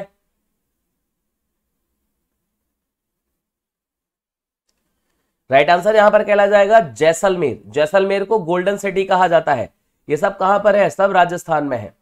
The headquarter of the economic and social commission for Asia and the Pacific is located at economic and social commission for Asia and the Pacific का मुख्यालय कहाँ पर स्थित है? सो गाइज़ राइट आंसर जब आप इसका देखेंगे, क्या कहला जाएगा? This is called as the Bangkok right Bangkok कहला जाएगा। तो गाइज़ एक घंटे हो चुके हैं राइट इट्स वन आवर एक घंटे हो चुका है और एक घंटे में आज जो अपन ने क्वेश्चन किए हैं ना राइट आज एक घंटे में अपने क्वेश्चन हो चुके हैं कितने? सो नाइन्टी थ्री क्वेश्चन किए हैं आज अपन ने एक घंटे में। तिरानबे क्वेश्चन यानी कि आज अपन काफ़ी स्पीड से चले हैं, है ना? वन आवर और बचा है एक घंटे और एक घंटे जो बचा है, इसमें अपन को सिर्फ़ कितने कवर करने हैं? वन ज़ीरो सेवन ये तो चुटकियों में हो जाएँगे। तो गाइज़ आगे बढ़े। चलिए, चलते हैं बिल्कुल धनाधन है ना? किसी को ब्रेक वगैरह लेना हो तो ले लेना। आगे देखिए where is the headquarter of the international organisation BRICS located अंतरराष्ट्रीय संगठन ब्रिक्स का जो मुख्यालय है, ये कहाँ पर स्थित है?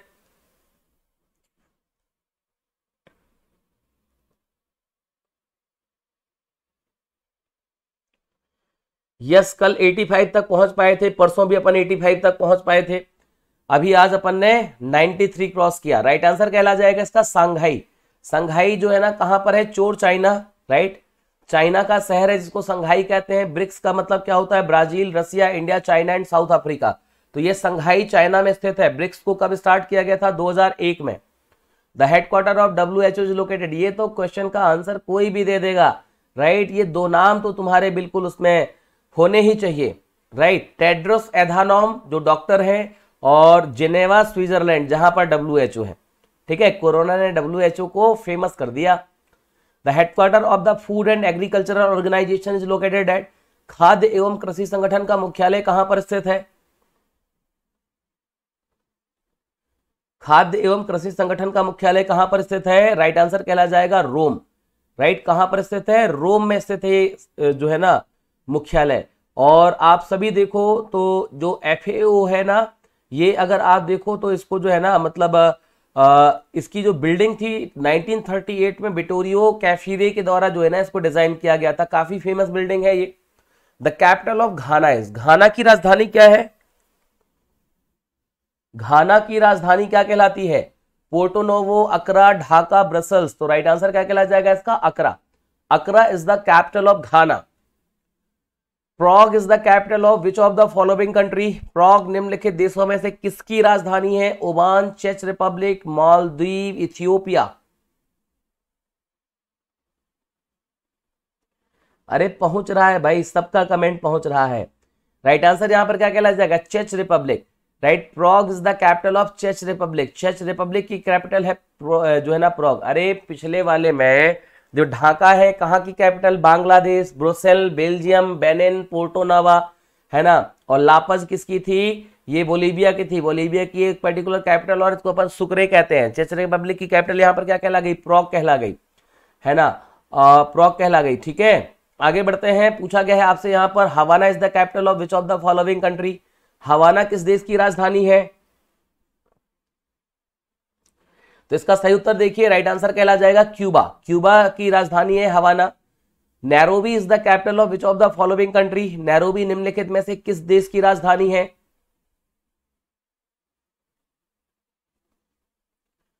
राइट आंसर यहाँ पर कहला जाएगा केन्या राइट नैरोबी कहाँ की कैपिटल है? केन्या की। और नैरोबी के साथ साथ आप देखो, जो मतलब करेंसी है ना, इसको क्या बोलते हैं? सिलिंग बोलते हैं।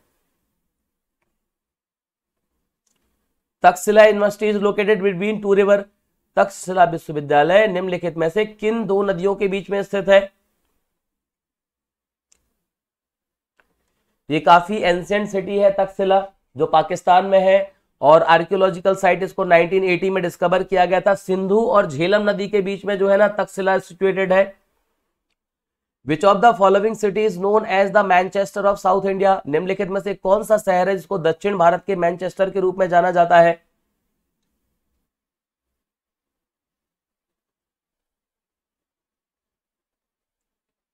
आईज में प्रॉब्लम होती है, रात में ब्लैक स्क्रीन लेकर के आइए। ठीक है भाई?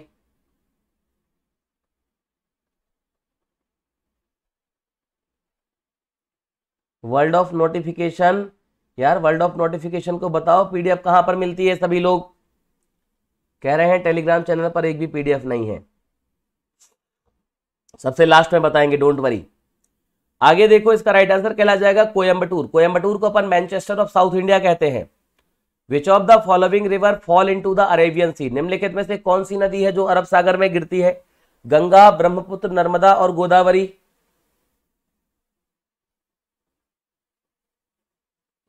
राइट आंसर यहाँ पर कहला जाएगा नर्मदा नदी, जो कहाँ पर फॉल होती है? अरेबियन सी देखो, गंगा, ब्रह्मपुत्र और गोदावरी, ये तीनों कहाँ जाती हैं? तो ये जाती हैं आपका वे ऑफ़ बंगाल बंगाल की खाड़ी में।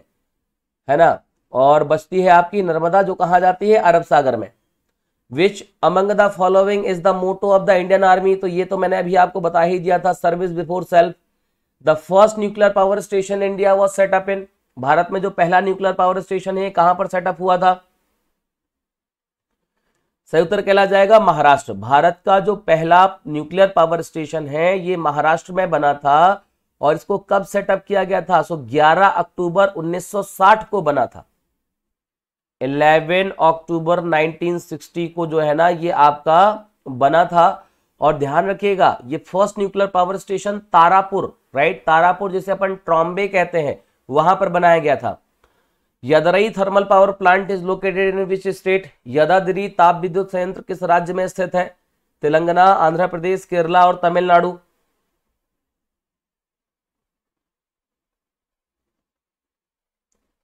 सही उत्तर क्या कहला जाएगा? राइट आंसर कहला जाएगा तेलंगाना। यदाद्री जो थर्मल पावर प्लांट है तेलंगाना में स्थित है। The Itaipu hydro power project is build on which river. Itaipu जल विद्युत परियोजना किस नदी पर बनाई गई? ऑर्निको जपुरा, पराना और कुरा। सही उत्तर कहला जाएगा पराना। पराना नदी पर जो है ना, ये आपका एताइपू हाइड्रो पावर स्टेशन को बनाया गया है। अब क्वेश्चन ये आ जाएगा कि सर ये जो पर्टिकुलर नदी है, पराना राइट तो ये कहाँ पर है? अगर आप देखो तो ब्राज़ील और प्रॉगवे के बीच में है। ब्राज़ील और Prague. In which state the Chamera hydro power station located hydro electric power project कहाँ पर लोकेटेड है? चमेरा जल विद्युत परियोजना। सही उत्तर कहला जाएगा हिमाचल प्रदेश। चमेरा जल विद्युत परियोजना हिमाचल प्रदेश में स्थित है। Which of the following dam is also known as the Pong dam निम्नलिखित में से किस पर्टिकुलर बाँध को पोंग डैम के नाम से भी जाना जाता है? इसका सही उत्तर कहला जाएगा महाराणा प्रताप सागर डैम को पोंग डैम कहा जाता है। और ये जो पर्टिकुलर महाराणा प्रताप सागर डैम है ना तो ये आपका पोंग डैम है। एक चीज़ ध्यान रखिएगा, ब्यास नदी पर बना है हिमाचल प्रदेश का, जो कांगड़ा डिस्ट्रिक्ट है वहाँ पर। Is the largest river in Orissa and the six largest in India Orissa की सबसे बड़ी नदी है और भारत की छठवीं सबसे बड़ी नदी है। अब देखो उड़ीसा की सबसे बड़ी नदी की बात करी गई है, यानी किसकी बात होगी यहाँ पर? बात यहाँ पर आ जाएगी आपका महानदी की, जिस पर की कौन सा बना हुआ है आपका dam? Hirakud. Which of the following river is also known as the river of sorrow किस नदी को नदी का शोक के रूप में भी जाना जाता है? नदी का शोक। राइट आंसर कहला जाएगा दामोदर नदी। हालाँकि दामोदर नदी को सौरव बंगाल के नाम से जाना जाता था बट जब से दामोदर वैली प्रोजेक्ट आया है, इसको क्या कहा जाता था? Sorrow of Bengal. जब से दामोदर वैली प्रोजेक्ट आया है, ये बंगाल के लिए वरदान साबित हुई है। The Arvari river considered the smallest river in India is located in which state Bharat की जो सबसे छोटी नदी समझी जाने वाली अरावरी नदी किस राज्य में स्थित है? सबसे छोटी समझी जाने वाली अरावरी नदी आपका राजस्थान में है। अब इसको सबसे छोटा जो नदी है, ये क्यों समझा जाता है? राजस्थान में है जो। सो गाइज़ आप सभी देखो, यहाँ पर जानते होंगे कि जो अरावरी नदी है, ये लगभग 45 किलोमीटर ही फ्लो करती है। On twenty third March India observe day as the tribute to Bhagat Singh Sukhdev Rajguru on their death anniversary उत्तर कहला जाएगा, शहीद दिवस के तौर पर इसको जाना जाता है। Which of the following dam is the oldest in India निम्नलिखित में से कौन सा बाँध भारत में सबसे पुराना है? सत्तर कहला जाएगा grand anicut dam right grand anicut dam जो है ना, सबसे ओल्डेस्ट डैम कहलाता है। और गाइज़ जो ये ग्रैंड एनिकट डैम है, ये कहाँ पर बना हुआ है? सो, चोल किंगडम में के समय पर इसको बनाया गया था? इसको कल्याणी डैम भी कहा जाता है। कावेरी नदी पर बना है। Which of the following dam is situated on the Yamuna river Yamuna नदी में कौन सा बाँध है? तो गाइज़ इसमें जो है ना, लखवर डैम ही रहेगा। उरी, टेहरी, भाखड़ा, ये कहाँ पर है? ये नॉर्थ इंडिया में है। राइट बचा कौन सा आपका? लाखवर डैम तो लाखवर डैम किसमें है? नर्मदा नदी पर बना हुआ है। ठीक है? सॉरी यमुना नदी पर बना हुआ है उत्तराखंड में।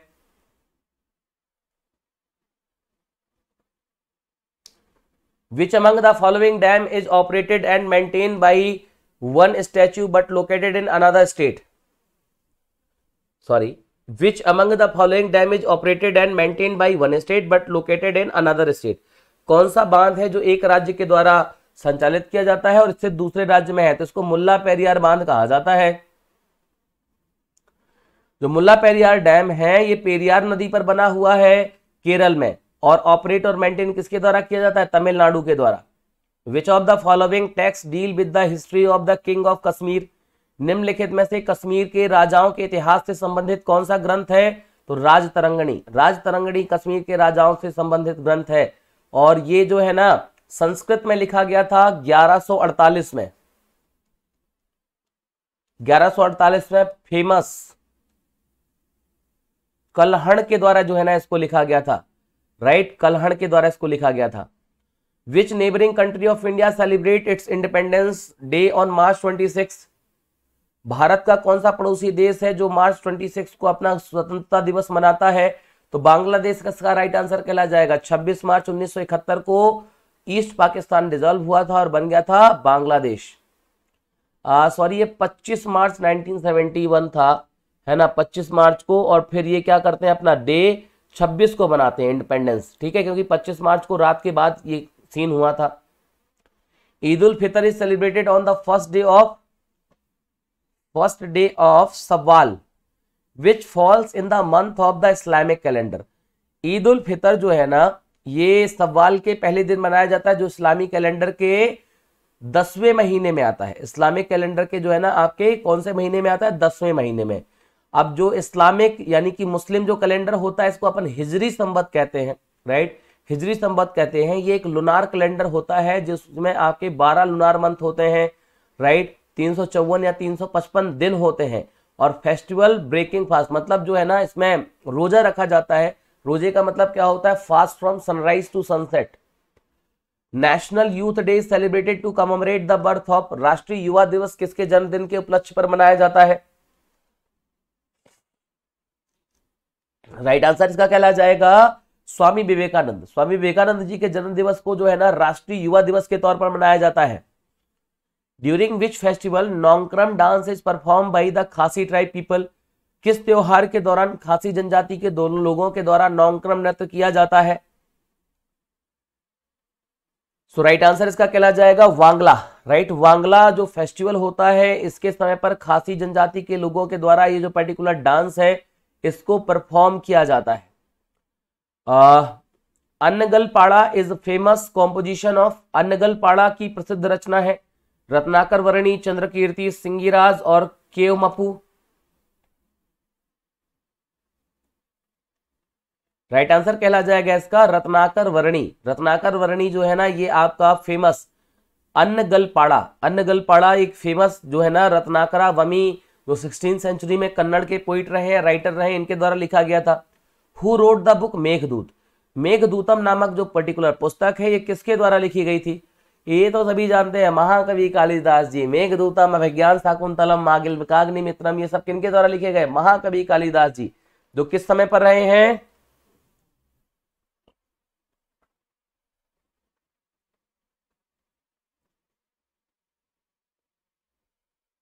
Nine jewels of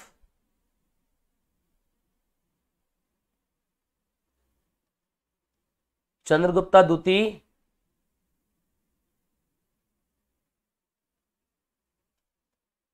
Vikramaditya. आगे देखिए हु रोड द बुक तहकीक ए हिंद? तहकीक ए हिंद नामक पुस्तक किसने लिखी थी? तहकीक ए हिंद राइट आंसर कहला जाएगा अलबरूनी। अलबरूनी जो महमूद गजनबी था, महमूद गजनबी की वार ट्रेन में भारत आया था। इसी के द्वारा जो तहकीक हिंद, जो एक नामक पुस्तक है, ये लिखी गई थी। अल मसूदी ने लिखा था, मुरुज उल जिहाब। और जो अल बिलादुरी था अल बिलादुरी ने लिखा था, फुतु उल बुल्दान। और सुलेमान ने लिखा था, फ़ेमस, जिसको कहा जाता है, सिलसिला उत तवारिक which is the highest award for the gallantry during the peace time शांत समय के दौरान वीरता के लिए सर्वोच्च पुरस्कार कौन सा दिया जाता है? राइट आंसर कहला जाएगा? अशोक चक्र। अशोक चक्र यहाँ पर दिया जाता है शांत समय में। Bhatiyali is the folk music of which of the following state Bhatiyali निम्नलिखित में से किस राज्य का एक लोक संगीत है? कर्नाटक, तमिलनाडु, वेस्ट बंगाल और केरल। राइट आंसर इसका कहला जाएगा? वेस्ट बंगाल। पश्चिम बंगाल इसका राइट आंसर कहला जाएगा? जहाँ पर भटियाली मनाया जाता है। काठी इज़ अ काठी क्या है? Caste tribe wooden art folk dance so guys Kathi जो है ना that is a kind of folk dance और ये जो आपका निमाड़ रीजन है मध्य प्रदेश का, वहाँ पर इसको बनाया जाता है काठी को. राउत नाच या folk dance related to which of the following state Raut Nach लोक नृत्य निम्नलिखित में से किस राज्य से संबंधित है? राउत नाच सभी जानते हो राइट आंसर कहला जाएगा छत्तीसगढ़. छत्तीसगढ़ से संबंधित है राउत नाच और ये जो देव उठनी ग्यारस होती है या देव उठनी एकादशी, दिवाली के बाद वहाँ पर जो राउत नाच को परफॉर्म किया जाता है। In which year did the Indian Premier League start IPL कब स्टार्ट हुआ था? ये तो सब बताएँगे। मैं देख रहा हूँ, इसका तो आंसर सब देंगे। आईपीएल कब स्टार्ट हुआ था? राइटवा आंसर कहलाएगा 2008 राइट 2008 में जो है ना, क्या शुरू हुआ था आपका? आईपीएल इंडियन प्रीमियर लीग शुरू हुआ था।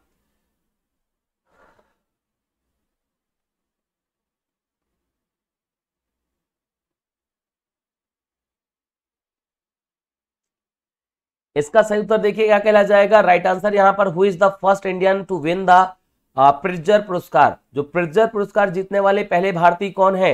राइट आंसर यहाँ पर कहला जाएँगे बालकृष्ण दोषी जी। राइट बालकृष्ण दोषी इनको यहाँ पर जो है प्रिजर प्राइज मिला था। अगला क्वेश्चन देखिए आपसे पूछा गया है कि who is the first foreign recipient of the Bharat Ratna पहले रेसिपेंट कौन है? फॉरेन के जिनको भारत रत्न दिया गया था, जिनको भारत रत्न मिला, वो कौन है? पहले व्यक्ति फॉरेन रिसिपेंट है भारत रत्न के। कौन है ये आपको बताना है?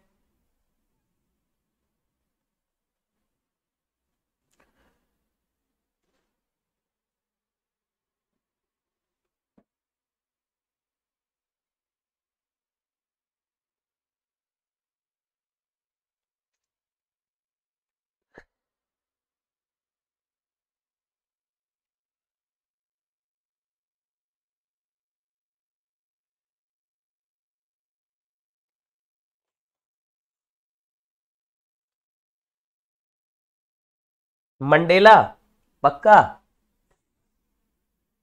मदर टेरेसा जो है ना तो मदर टेरेसा ये इंडियन थी। इन्होंने इंडिया की जो ए, मतलब सिटीजनशिप है वो ले ली थी। गाइस देखो इसके बारे में आपको बताता हूँ राइट आंसर यहाँ पर क्या कहला जाएगा? राइट आंसर यहाँ पर कहला जाएगा खान अब्दुल गफ्फार खान ठीक है? एक चीज़ ध्यान रखिएगा आपको ये पता होना चाहिए कि अब तक दुनिया में सिर्फ़ ऐसे दो ही लोग रहे हैं जो नॉन इंडियन हैं और इनको मिला है भारत रत्न। पहले खान अब्दुल गफ्फार खान, जो पश्तून इंडिपेंडेंट एक्टिविस्ट थे और स्पिरिचुअल लीडर थे, इन्हीं को फ्रंटियर गांधी कहा जाता था राइट और दूसरे जिनको क्या बोला गया? नेल्सन मंडेला इनको भारत रत्न जो है ना, मिला था, ठीक है? Who among the following was the first Chinese to receive the Nobel prize for literature निम्नलिखित में से साहित्य में जो नोबेल पुरस्कार जीतने वाला पहला चीनी कौन था? खान अब्दुल गफ्फार खान को कहा जाता है क्या? खान अब्दुल गफ्फार खान को कहा जाता है फ्रंटियर गांधी। राइट आंसर यहाँ पर कहला जाएगा मोयान, राइट? जो first Chinese receive the Nobel prize for literature, इनको कहा गया मोयान। द मिलिट्री एक्सरसाइज मैत्री 2016 was exercise between India and which of the following country? सैन्य अभ्यास मैत्री 2016 भारत और निम्नलिखित में से मैत्री अभ्यास आप सभी जानते हो, थाईलैंड और भारत के बीच में होता है Maitri. B Sai Praneeth is associated with which of the following sport? B Sai Praneeth निम्नलिखित में से किस खेल से जुड़े हुए हैं? राइट आंसर कहला जाएगा बैडमिंटन। राइट, किससे जुड़े हैं? बैडमिंटन से जुड़े हैं ये। How many players are there in a water polo team? Water polo team जो होती है, उसमें निम्नलिखित में से कितने खिलाड़ी होते हैं? राइट आंसर यहाँ पर कहला जाएगा सेवन वाटर पोलो टीम में टोटल कितने खिलाड़ी होते हैं? तो सात खिलाड़ी होते हैं वाटर पोलो टीम में. Which player has the record of scoring the most run in the history of ICC world cup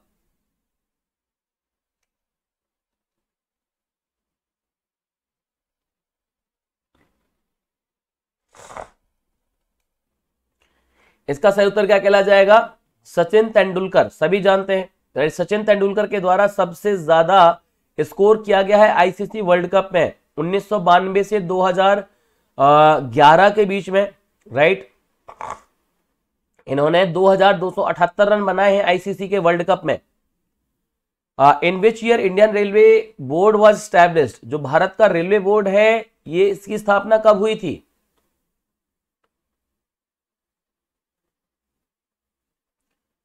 सही उत्तर कहला जाएगा 1853 और भारत में सबसे पहली बार अठारह सौ तिरपन में ही ट्रेन चली थी।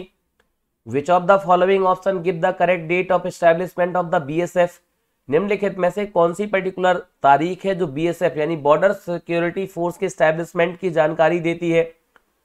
एक दिसंबर था तो आप सभी जानते हैं 1965 एक दिसंबर 1965 को बीएसएफ को स्टेबल किया गया था बॉर्डर सिक्योरिटी फोर्स को।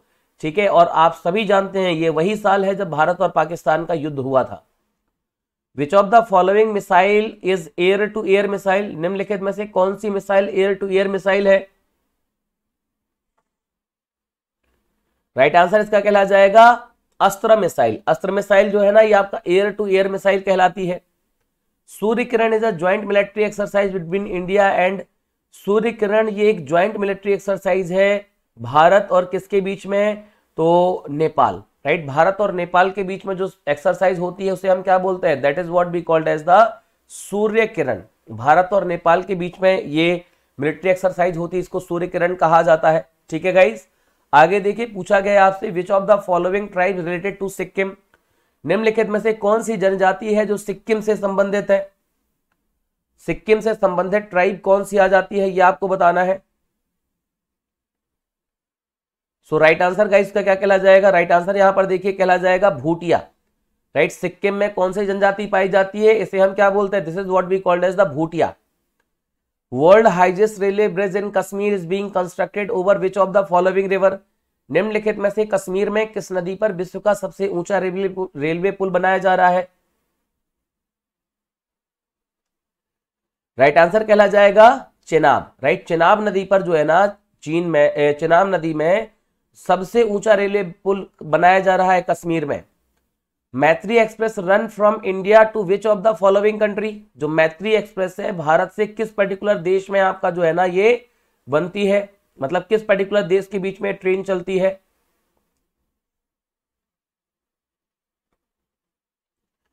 इसका राइट आंसर देखिए, कहला जाएगा बांग्लादेश। ठीक है, इसे अपन क्या बोलते हैं? बांग्लादेश कहते हैं। भारत और बांग्लादेश के बीच में जो मैत्री एक्सप्रेस है, ये ट्रेन आपका रन होती है और ये जो ट्रेन है, ये कनेक्ट करती है इंडिया का जो शहर जिसको कलकत्ता कहा गया और ढाका, जो कि बांग्लादेश की कैपिटल सिटी है। मैत्री का मतलब क्या होता है? फ्रेंडशिप।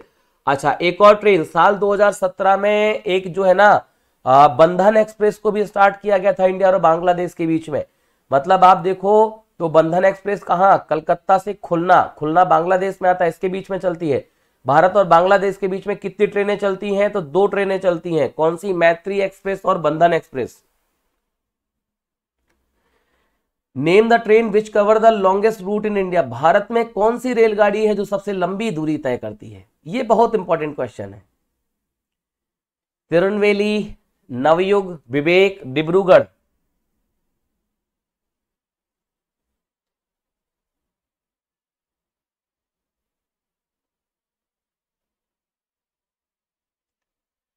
तो गाइज़ इसका सही उत्तर आप देखिए राइट आंसर क्या कहला जाएगा? विवेक एक्सप्रेस इसको अपन कहते हैं। ये जो पर्टिकुलर ट्रेन है, ये कवर करती है लॉन्गेस्ट रूट भारत में राइट भारत में सबसे लॉन्गेस्ट रूट को कवर करती है ये। Himalaya are an example of mountain Himalaya किस तरीके के माउंटेन है? अभी अपन देख रहे थे जो हिमालय है, इसको अपन क्या बोलते हैं? फोल्ड यानी कि वलित पर्वत कहते हैं हिमालय को। Which of the following is consider the largest tribe in India निम्नलिखित में से भारत में किसे सबसे बड़ी जनजाति माना जाता है? भारत में सबसे बड़ी जनजाति कौन सी कहलाती है? तो ये आपकी गोंड ट्राइब जो गोंड ट्राइब है, ये भारत में सबसे बड़ी जनजाति मानी जाती है और भारत में सबसे ज़्यादा लार्जेस्ट ट्राइब है इंडिया की, जो प्री द्रविडियन स्पीसीज से बिलोंग करती है। In which of the following state union territory the Jarawa tribe reside निम्नलिखित में से किस राज्य केंद्र शासित प्रदेश में जारवा जनजाति निवास करती है? जारवा जनजाति कहाँ पर निवास करती है? ये आपको बताना है। अरुणाचल प्रदेश, लक्षद्वीप, छत्तीसगढ़, अंडमान, निकोबार। राइट आंसर इसका कहला जाएगा अंडमान एंड निकोबार आइलैंड जहाँ पर कि ये जो पर्टिकुलर जारवा ट्राइब है सिचुएटेड है। Which one is the largest tribal group in Meghalaya Meghalaya में सबसे बड़ी जनजाति का समूह कौन सा है? इसका सही उत्तर क्या कहला जाएगा? खासी राइट खासी इसका राइट आंसर कहला जाएगा जो कि मेघालय में सबसे बड़ी जनजाति समूह है। सबसे बड़ा जनजाति समूह कहलाता है। Where is Rani Jhansi marine national park located Rani Jhansi marine national park कहाँ पर स्थित है? अंडमान, निकोबार आइलैंड, लक्षद्वीप, दादरा, नागर, हवेली और गुजरात।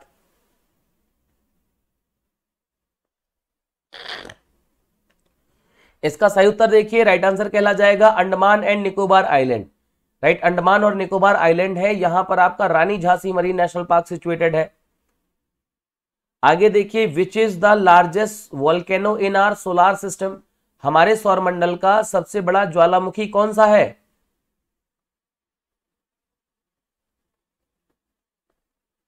हमारे सौर मंडल का सबसे बड़ा ज्वालामुखी कौन सा है? ये आपको बताना है, सबसे बड़ा ज्वालामुखी कौन सा है?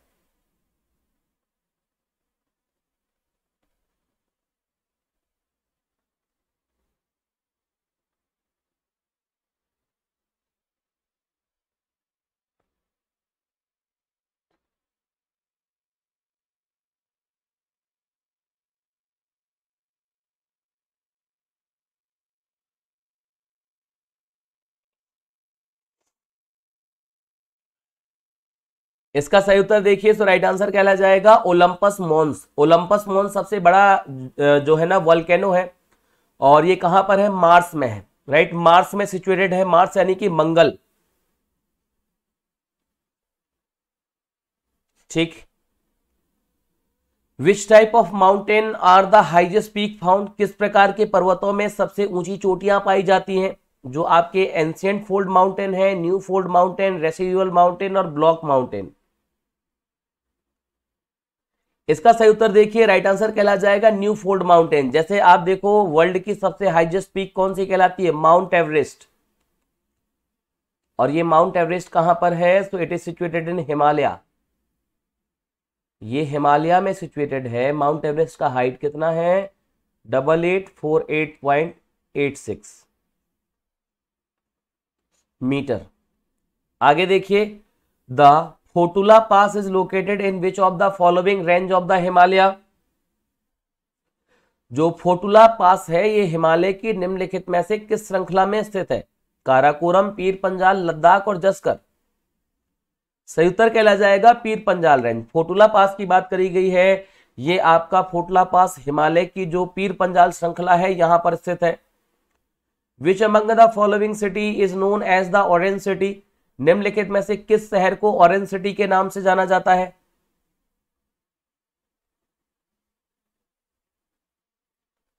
सही उत्तर कहला जाएगा इसका नागपुर। नागपुर में चूँकि ऑरेंज की खेती आप देखें तो सबसे ज़्यादा होती है और ऑरेंज की खेती जब नागपुर में सबसे ज़्यादा होती है तो इसलिए इसको ऑरेंज सिटी के नाम से जाना जाता है।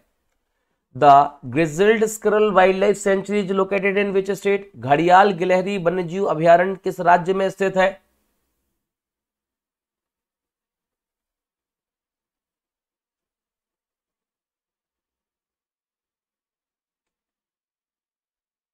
सही उत्तर कहला जाएगा आपका तमिलनाडु राइट जो grizzled squirrel wildlife sanctuary कहाँ पर है? तमिलनाडु में है। ठीक है, आगे बढ़ते हैं। Which is the first national park establish in India Bharat में स्थापित प्रथम राष्ट्रीय उद्यान कौन सा है? बांदीपुर, कॉर्बेट, कान्हा, पेरियार।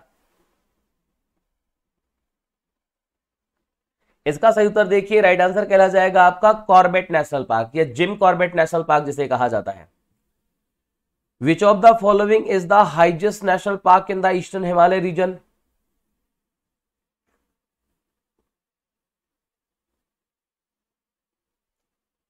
सत्तर कहला जाएगा नामदफा नेशनल पार्क निम्नलिखित में से पूर्वी हिमालय क्षेत्र का सबसे बड़ा राष्ट्रीय उद्यान कौन सा कहलाता है?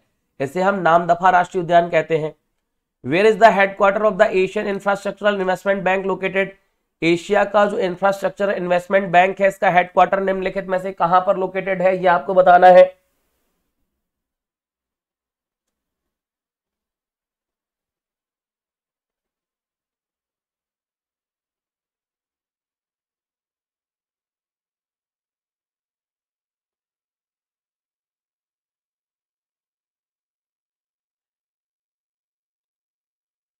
सो so गाइज़ इसका राइट आंसर आप देखें क्या कहला जाएगा? Beijing right Asian infrastructure development bank जो है, इसका हेडक्वार्टर कहाँ पर है? That is situated in Beijing ये चीन की राजधानी बीजिंग में सिचुएटेड है। ठीक है? आगे देखिए। Which of the following city nick name is blue city निम्नलिखित में से किस शहर को ब्लू सिटी के नाम से जाना जाता है? नीला शहर। जैसे अपन ने पिंक सिटी देखा, वैसे ही एक ब्लू सिटी होता है। किसको कहा जाता है ब्लू सिटी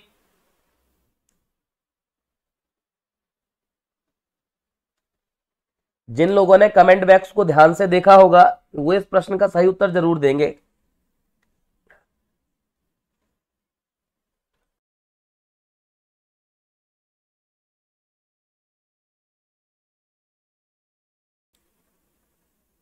जैसलमेर, पक्का? राइट आंसर यहाँ पर क्या कहला जाएगा? Jodhpur.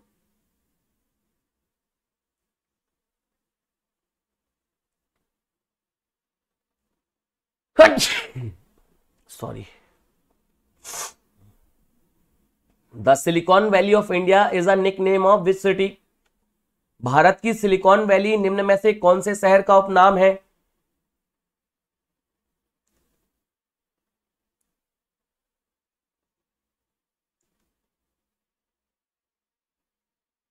राइट आंसर यहाँ पर कहला जाएगा Bengaluru.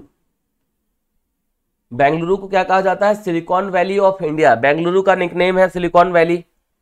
City is the state of Haryana, is known as the millennium city of the country. Haryana राज्य में शहर को देश के मिलेनियम शहर के रूप में जाना जाता है।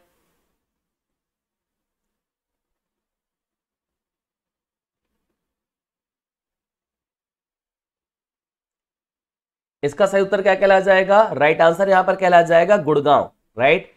जो गुड़गांव है, गुड़गांव को मिलेनियम शहर के रूप में जाना जाता है हरियाणा में। Which of the following is the currency of Algeria Algeria नाम का जो एक पर्टिकुलर देश है, इसका करेंसी क्या कहलाता है?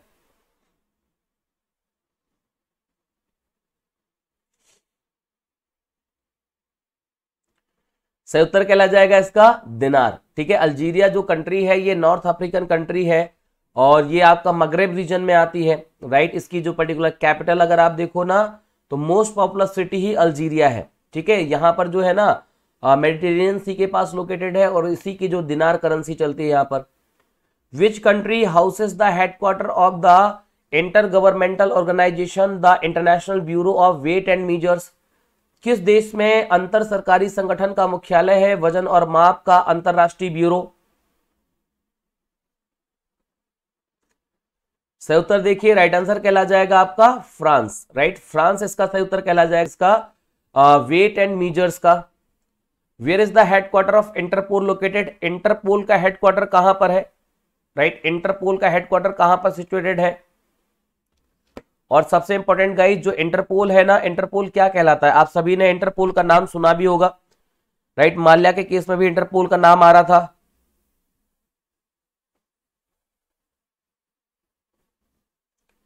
इसका सही उत्तर कहला जाएगा लियोन राइट इंटरपोल का हेडक्वार्टर कहाँ पर स्थित है? तो इंटरपोल का हेडक्वार्टर आ जाता है आपका लियोन में राइट लियोन में आ जाता है। लियोन अगर आप देखो सो इंटरपोल को क्या कहा जाता है? The international police organization international police organization को ही इंटरपोल कहा जाता है। और लियोन कहाँ पर है? So it is situated in the France where is the headquarter of the world intellectual property organization located विश्व बौद्धिक संपदा संगठन का मुख्यालय कहाँ पर स्थित है?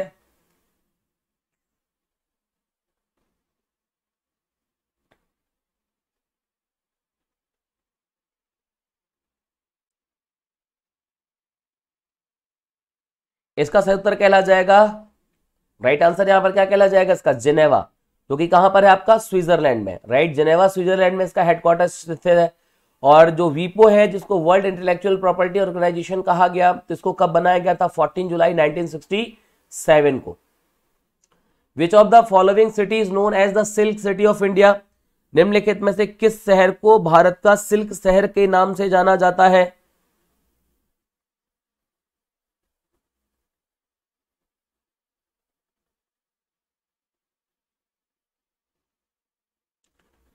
इसका सही उत्तर देखिए, भागलपुर इसका राइट आंसर कहला जाएगा।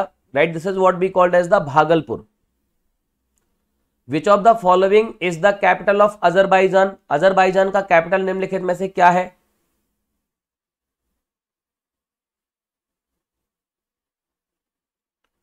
इसका सही उत्तर कहला जाएगा आपका Baku. Baku is the capital of Azerbaijan Azerbaijan की राजधानी क्या है? Baku.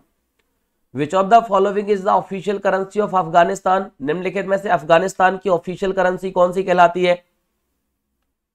Official currency of Afghanistan देखो गाइज़ जितने लोग नए जुड़ रहे हैं एटलीस्ट अपना अटेंडेंस ज़रूर मार्क करिएगा। We are very close to the 400 400 के हम बहुत नज़दीक हैं। ठीक है, देखो, मैं कभी भी ड्यूरिंग द क्लास नहीं बोलता कि आप लाइक करो, कुछ भी करो। बट इट्स योर रिस्पॉन्सिबिलिटी कि आप पढ़ने आते हैं तो एटलीस्ट आप इतना तो कर ही सकते हो। ठीक है गाइज़ आगे बढ़ते हैं। राइट आंसर यहाँ पर क्या कहला जाएगा? अफगान, अफगानी। करेंसी पूछी गई थी आप ऑफिशियल करेंसी जो है ना अफ़गानिस्तान की so this is what be called as the Afghan, afghani. ठीक है, ये ऑफिशियल करेंसी कहाँ की है? अफ़गानिस्तान की। What is the currency of Malaysia right Malaysia की करेंसी कौन सी कहलाती है? मलेशिया आप सभी जानते हो so this is called as the Malaysian ringgit Malaysian Malaysian ringgit जो है ना, ये करेंसी कहलाती है मलेशिया की। ठीक है? और आगे देखिए, Singaji thermal power station is situated in the state of Singaji thermal power plant किस राज्य में स्थित है?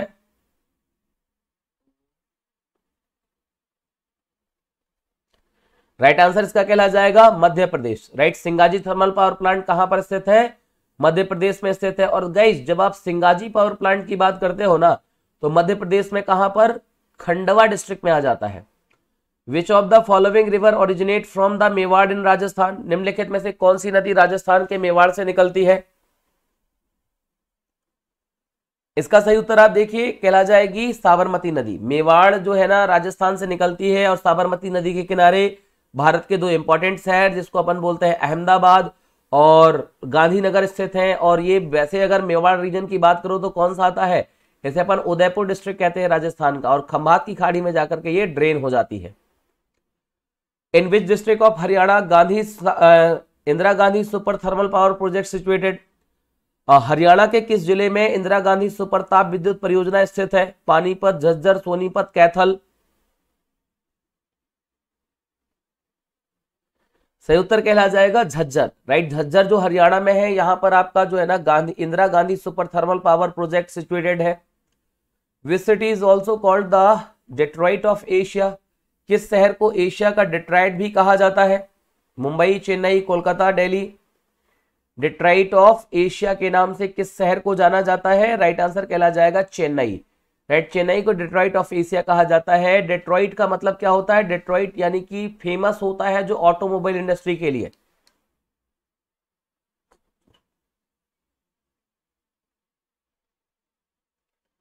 डेट्राइट का मतलब क्या होता है? इसका मतलब होता है फ़ेमस फॉर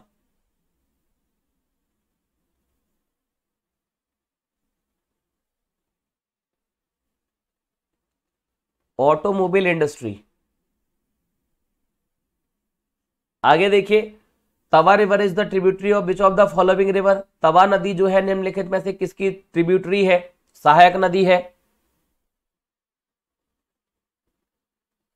सो गाइस तबा नदी आप सभी जानते हो कि ये नर्मदा नदी जो है ना, नर्मदा नदी की सबसे बड़ी ट्रिब्यूटरी कहलाती है तबा ठीक है? और जो ये सतपुड़ा रेंज में निकलती है और नर्मदा नदी को कहाँ पर जाकर के मिलती है? होशंगाबाद में, और लगभग एक सौ बहत्तर किलोमीटर की दूरी को कवर करती है। Which of the following river Ukai project has been created Ukai project निम्नलिखित में से किस पर्टिकुलर नदी में क्रिएट किया गया यानी कि किस नदी में उकाई प्रोजेक्ट को बनाया गया है? उकाई डैम जिसे कहा जाता है।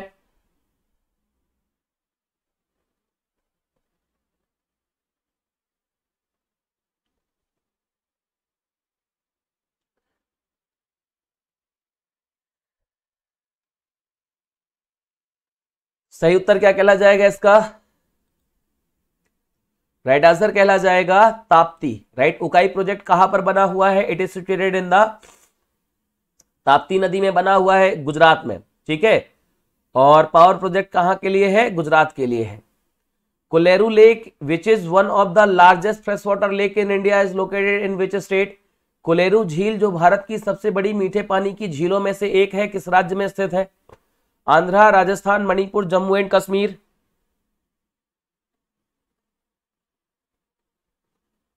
सही उत्तर इसका क्या कहला जाएगा? राइट आंसर यहाँ पर कहला जाएगा आंध्र प्रदेश। राइट कुलेरू लेक जो सबसे बड़ी झील है, ये कहाँ पर है? आंध्र प्रदेश में सिचुएटेड है। In Rajasthan super critical thermal power plant are situated at Rajasthan में super critical thermal power plant कहाँ पर स्थित है? Super critical thermal power plant कहाँ पर स्थित है?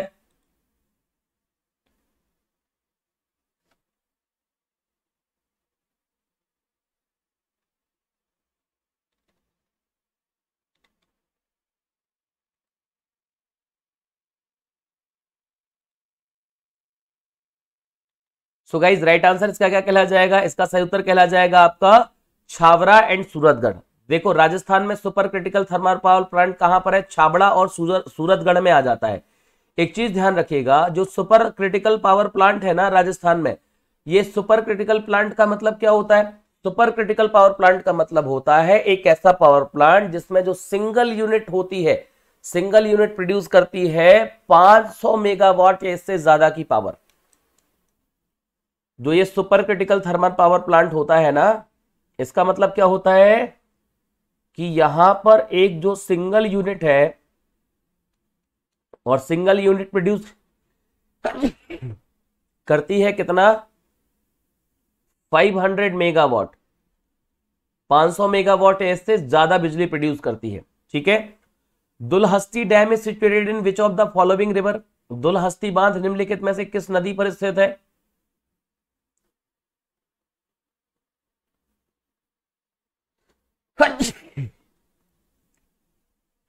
दुलहस्ती बाँध निम्नलिखित में से कहाँ पर स्थित है?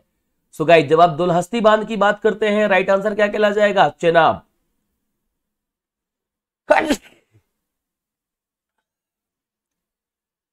सॉरी गाइस एक मिनट रुको।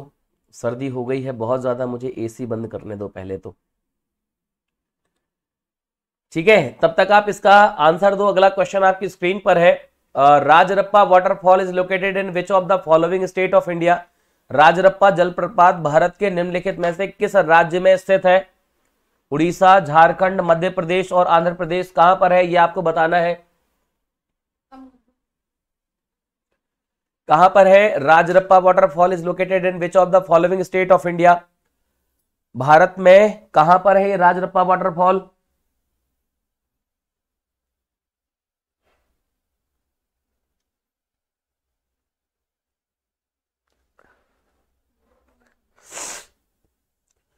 सो गाइस का सही उत्तर देखिए क्या कहला जाएगा? झारखंड इसका राइट आंसर कहला जाएगा। राजरप्पा वाटरफॉल कहाँ पर है? झारखंड में है, ठीक है? और जलप्रपात का मतलब क्या होता है? जलप्रपात का मतलब होता है वाटरफॉल जहाँ पर की पानी गिर रहा होता है। अब बात यह आती है कि सर, यहाँ पे जो पर्टिकुलर पानी गिरता है ना, ये पानी कहाँ से गिरता है? सो ये जो है ना, राजरप्पा वाटरफॉल रामगढ़ डिस्ट्रिक्ट में झारखंड के लोकेटेड है। ये आपका दामोदर नदी और भैरवी दामोदर नदी और भैरवी नदी जहाँ पर मिलती हैं, ये वहाँ पर सिचुएटेड है। दामोदर और भैरवी नदी की कॉन्फ्लुएंस पर बना हुआ है। आगे देखिए पूछा गया है आपसे जिसको बोला गया Khandadhar. Khandadhar waterfall is located in which of the following state of India Khandadhar जलप्रपात निम्नलिखित में से किस राज्य में स्थित है?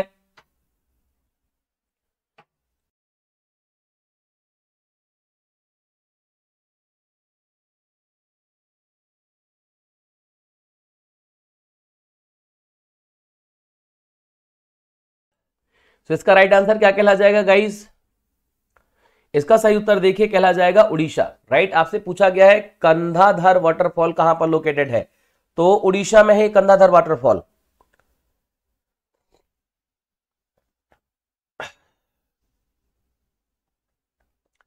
ठीक है? राइट आंसर क्या कहला जाएगा? उड़ीसा। आगे देखिए which among the following lake of India is located in Assam Bharat की निम्नलिखित झीलों में से कौन सी झील आसाम में अवस्थित है? Hamirsar lake Kolleru lake, Sala lake और चपनाला लेक। कौन सी झील है यह आपको बताना है। गाइज़ इसका राइट आंसर कहला जाएगा चपनाला लेक। चपनाला लेक जो है ना, आसाम और चंदुबी लेक जो है ना, चंदुबी लेक हुआ, चपनाला लेक, ये सब कहाँ पर है आपके? आसाम में है। एक और है, हाफलोंग लेक करके। When is the world no tobacco day celebrated विश्व तंबाकू निर्देश निषेध दिवस कब मनाया जाता है? राइट नो टोबैको डे कब मनाया जाता है? राइट right आंसर कहला जाएगा आपका thirty first of May right thirty first of May को जो नो टोबैको डे है, ये मनाया जाता है। क्योंकि टोबैको से जो है ना, बहुत सारी डिज़ीज़ हो जाती है। सबसे इंपॉर्टेंट तो मुँह का कैंसर है। राइट कभी भी देखो, वो जमाना और हुआ करता था जब आप थिएटर में मूवी देखने जाया करते थे। थिएटर में जब मूवी देखने जाते थे तो पहले क्या दिखाया करता था? ये मुकेश की कहानी है। मुकेश सिर्फ़ 22 साल का है। सॉरी 22 या 24 साल का है। और जब ये आठ साल का था, तब से ये गुटका चबा रहा था और इसका मुँह का कैंसर हो गया है और मुकेश अब इस दुनिया में नहीं है। So when is the international ozone day celebrated अंतरराष्ट्रीय ओजोन दिवस कब मनाया जाता है? अंतरराष्ट्रीय ओजोन दिवस कब मनाया जाता है? राइट right आंसर इसका देखिए, कहला जाएगा 16 सितंबर। 16 सितंबर के दिन जो है ना, अंतरराष्ट्रीय ओजोन दिवस मनाया जाता है हर साल। India celebrate army day on to salute the valiant soldier who sacrifice their life to protect the our country. हाँ Aditya C H S L के सीजीएल के लिए और जीडी के लिए ही तो क्लास चल रहा है। इसका, अरे जुबा केसरी बोलो, हमारा जो बॉलीवुड है ना, सबसे निकम्मे लोग हैं, है ना? उनको तो अगर पैसे दे दो ना, पैसे दे दो तो जहर का भी प्रचार कर देंगे कि ये जहर खाइए, एकदम सबसे प्योर जहर। इसको खाते ही आप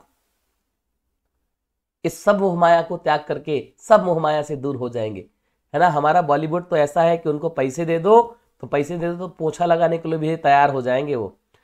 इंडियन आर्मी जो इंडिया है सेलिब्रेट करती है आर्मी डे कब मनाती है? तो 15 जनवरी के दिन मनाती है आर्मी डे ठीक है? आगे देखिए which of the following dam is built on the river Mahanadi निम्नलिखित में से कौन सा बाँध है जो महानदी पर बना हुआ है? महानदी पर कौन सा बाँध बना है? राइट आंसर यहाँ पर कहला जाएगा आपका हीराकुंड डैम। और गाइज़ हीराकुंड डैम मैंने आपको बताया कि ये जो पर्टिकुलर बाँध है ना, हीराकुंड डैम, ये आपका सबसे लॉन्गेस्ट डैम है इंडिया का, भारत का सबसे लॉन्गेस्ट डैम है। जो कि 25.8 किलोमीटर में बना हुआ है।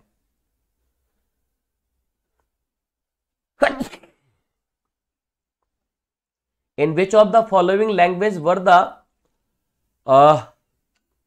Mangal Kavya written right निम्नलिखित में से किस पर्टिकुलर भाषा में जो आपका मंगल काव्य है, ये लिखा गया है?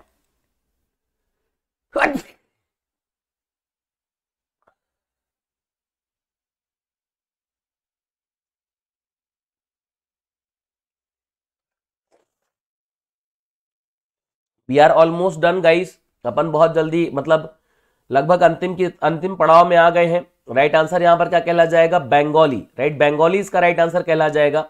आगे देखिए।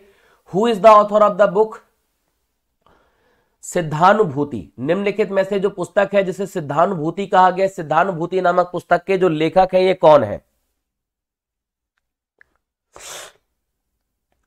गाइड जो नए लोग जुड़ रहे हैं, देखो, वीडियो को लाइक करके अपनी अटेंडेंस ज़रूर मार्क करना। राइट और यहाँ पर जो है ना सभी लोग, ये टेलीग्राम चैनल है मेरा। ये टेलीग्राम चैनल ज्वाइन कर लीजिए। इस टेलीग्राम चैनल में आप सभी को क्या मिल जाएँगी? पीडीएफ मिल जाएँगी। मेरे सारे सेशन की लिंक और पीडीएफ आपको यहाँ पर मिलेगी। तो ब्रह्मानंद शिवयोगी इसका राइट आंसर कहला जाएगा, जिनके द्वारा सिद्धानुभूति नामक पुस्तक लिखी गई है। Alberuni's Kitab ul Hind was written in which language Alberuni की जो किताब उल हिंद है, वह किस भाषा में लिखी गई थी? किस भाषा में लिखी गई थी अलबरूनी के द्वारा? तो देखो ये कहाँ से आया था? ये आपका जो है ना अरब अरब से आया था तो इसको अरबियन भाषा बहुत ज़्यादा आती थी। तो इसने अरबी में ही इस पर्टिकुलर किताब को लिखा था किताब उल हिंद। ये किताब उल हिंद इसके द्वारा अरबी भाषा में लिखी गई थी अरब की भाषा में। ठीक है? आगे बढ़ते हैं। National technology day is observe across India on राष्ट्रीय प्रौद्योगिकी दिवस पूरे भारत में कब मनाया जाता है? 11 मई 12, 13, 14 कब मनाया जाता है?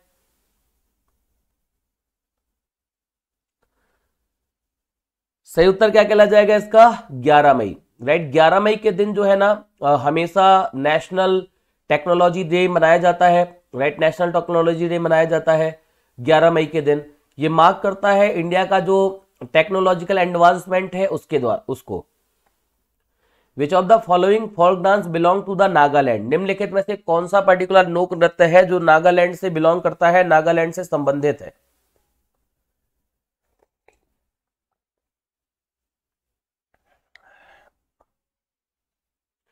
राइट आंसर यहाँ पर क्या कहला जाएगा? मोनिया असो। राइट मोनिया असो जो है ना, ये एक फोल्क डांस है कहाँ का? नागालैंड का। Which of the following state has famous Nabakalebara festival right निम्नलिखित में से कौन सा पर्टिकुलर राज्य है जिसमें प्रसिद्ध नवकलेवर त्योहार मनाया जाता है? नवकलेवर त्योहार कहाँ पर मनाया जाता है यह आपको बताना है। So guys we are very close to 500 500 अपन देखते हैं 500 लाइक हो पाते हैं कि नहीं हो पाते हैं राइट right? जिन्होंने लाइक नहीं किया है सेशन को लाइक ज़रूर करिएगा, है ना? डेली मैं रात को 11 बजे से 1 बजे तक बैठता हूँ सो दैट आपका रिवीजन हो सके। इसका सही उत्तर क्या कहला जाएगा? उड़ीसा। नव कलेवर त्योहार जो है, ये कहाँ पर प्रसिद्ध है? ये उड़ीसा में प्रसिद्ध है नव कलेवर त्योहार। और एक चीज़ ध्यान रखिएगा, ये जगन्नाथ मंदिर से सिचुएटेड है। जो गजपति रामचंद्र देवा थे, इनको कंसीडर किया जाता है। फाउंडर जो ये आपका नव कलेबर त्योहार है, इसका। Which among the following are the major folk dance of Uttar Pradesh निम्नलिखित में से प्रमुख लोक नृत्य कौन से हैं उत्तर प्रदेश के? Right right? उत्तर प्रदेश के लोक नृत्य की बात करी गई है सो देखो चरकुला चरकुला, कर्मा, पांडव ये सब आपके फोल्क डांस कहाँ के हैं? उत्तर प्रदेश के फोल्क डांस कहलाते हैं। चरकुला, कर्मा और Pandav. Indica was a book originally written by Indica एक पुस्तक है जिसको किसके द्वारा लिखा गया था? इंडिका एक पुस्तक है जिसको किसके द्वारा लिखा गया था? सो गाइज़ राइट आंसर यहाँ पर क्या कहला जाएगा? Megasthenes right Megasthenes को आप सभी जानते हैं। इसके द्वारा जो है ना ये पुस्तक लिखी गई थी और ये जो ओरिजिनल पुस्तक है ओरिजिनल पुस्तक अब अवेलेबल नहीं है। ओरिजिनल पुस्तक खत्म हो गई। ओरिजिनल पुस्तक जो है ना लॉस्ट हो गई है। तो मैं आपको बता रहा था मेगास्थनीज के बारे में। Megasthenes, Seleucus Nicator.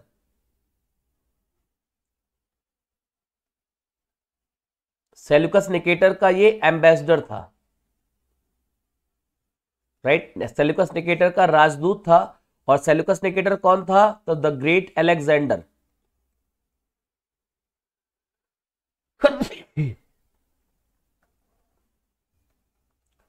एलेक्जेंडर का ये कमांडर इन चीफ हुआ करता था। सेनापति जिसको अपन कहते हैं।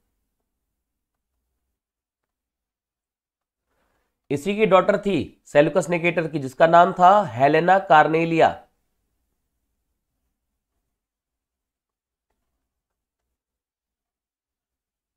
जिसने शादी किससे करी थी? चंद्रगुप्ता मौर्य। चंद्रगुप्ता मौर्य से जिसने निकाह शादी किया था। और यहाँ पर पता है क्या हुआ? चंद्रगुप्ता मौर्य को एक बहुत बड़ी टेरिटरी मिल गई थी। उन्होंने 500 हाथी भी गिफ्ट किए थे। First Indian women to get the Bharat Ratna पहली महिला जिनको भारत रत्न से सम्मानित किया गया, कौन कहलाती हैं? तो इसमें तो कोई नहीं, इंदिरा गांधी जी हैं, जिनको मतलब प्राइम मिनिस्टर थी, भारत रत्न से सम्मानित किया गया था, राइट, भारत रत्न से सम्मानित किया गया था 1971 में।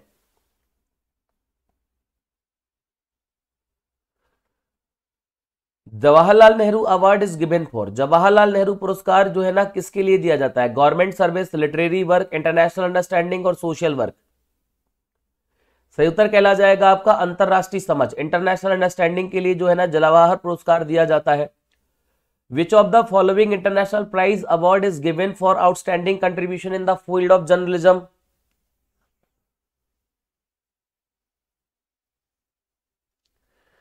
इसका सही उत्तर देखिए राइट आंसर क्या कहला जाएगा? पुलितजर प्राइज पुलितजर पुरस्कार दिया जाता है जर्नलिज्म की फ़ील्ड में।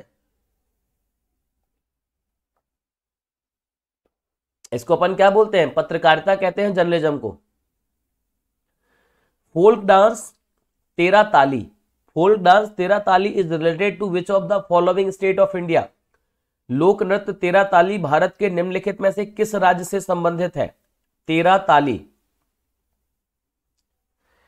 तो इसका सही उत्तर क्या कहला जाएगा? राजस्थान। कहाँ से संबंधित है? राजस्थान से संबंधित है और राजस्थान में ट्राइब पाई जाती है जिसको कहा जाता है कमर ट्राइब कमर जनजाति पाई जाती है। इसके द्वारा ये जो पर्टिकुलर डांस परफॉर्म किया जाता है।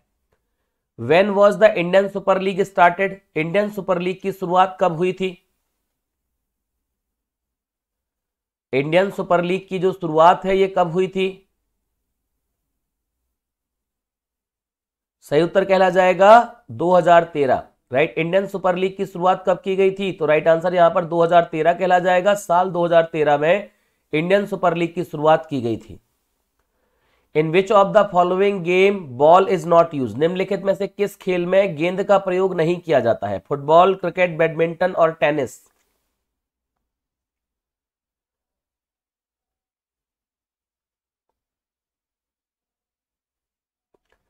सही उत्तर कहला जाएगा बैडमिंटन। जब आप बैडमिंटन की बात करते हो तो इसमें किसका उपयोग किया जाता है? बैडमिंटन में सटल कॉक का यूज़ किया जाता है। सटल कॉक जिसको अपन क्या बोलते हैं? चिड़िया कहते हैं।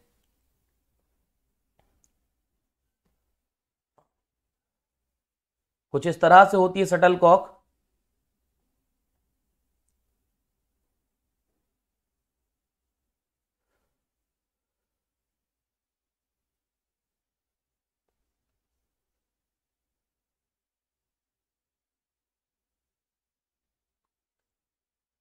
है ना? तो चिड़िया कहा जाता है इसको, चिड़िया बल्ला जिसको बोला करते थे। आगे देखिए who has won the most number of gold medal in Olympic Olympic में सबसे ज़्यादा गोल्ड मेडल किसके द्वारा जीते गए हैं?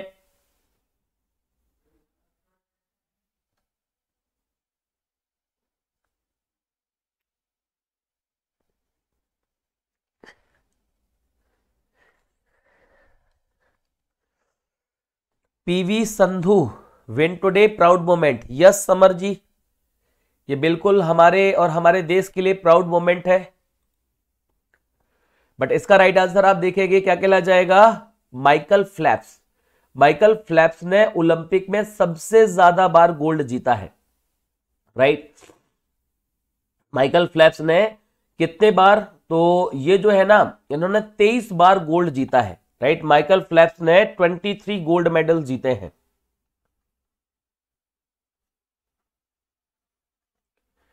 तेईस बार गोल्ड मेडल जीता है, तीन बार इन्होंने सिल्वर मेडल जीता है,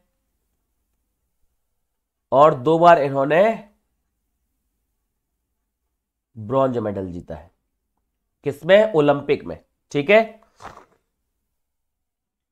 How many non Indian have been awarded the Bharat Ratna highest civilian award of the Republic of India इसका आंसर तो सभी दे देंगे, क्योंकि ये मैंने आपको बताया था, है ना? ये मैंने आपको बताया था, ठीक है? इसका आंसर तो सभी देंगे, सभी से एक्सपेक्ट करता हूँ। ये अपना आज का आखिरी क्वेश्चन भी है guys this is our last question of the day दो इस सेशन के बाद जो पीडीएफ है ना पीडीएफ कहाँ पर मिल जाएगी? इस टेलीग्राम चैनल पर।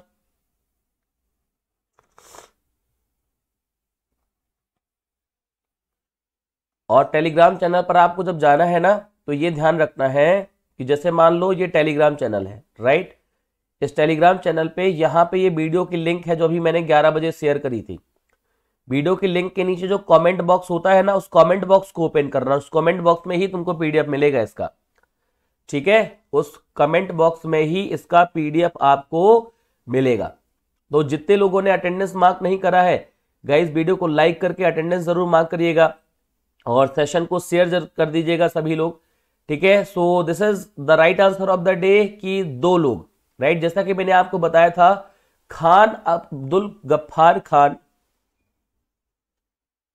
खान अब्दुल गफ्फार खान, जिनको फ्रंटियर गांधी कहा जाता है, और दूसरे, जिनको क्या बोला गया? Nelson Mandela. नेल्सन मंडेला को क्या कहा जाता है? नेल्सन मंडेला को जो है ना, गांधी ऑफ़ साउथ अफ्रीका कहा जाता है। यही दो सॉरी, यही दो नॉन इंडियन है। नॉन इंडियन यानी कि ये दो भारतीय नहीं है। ये दो ही आपके नॉन इंडियन हैं, जिनको अभी तक आपका भारत का सबसे हाइजेस्ट सिविलियन अवार्ड, जिसको भारत रत्न कहा जाता है, ये मिला है। ठीक है? So guys this is for the day आज की क्लास में इतना ही। अगर आप इसका सेशन का पीडीएफ चाहते हैं और मेरी आने वाली क्लासेस का लिंक चाहते हैं तो ये जो टेलीग्राम चैनल है मेरा, इस टेलीग्राम चैनल को ज़रूर सभी लोग सब्सक्राइब करिएगा। Rituraj underscore text book search करेंगे या आप सर्च कर लीजिएगा।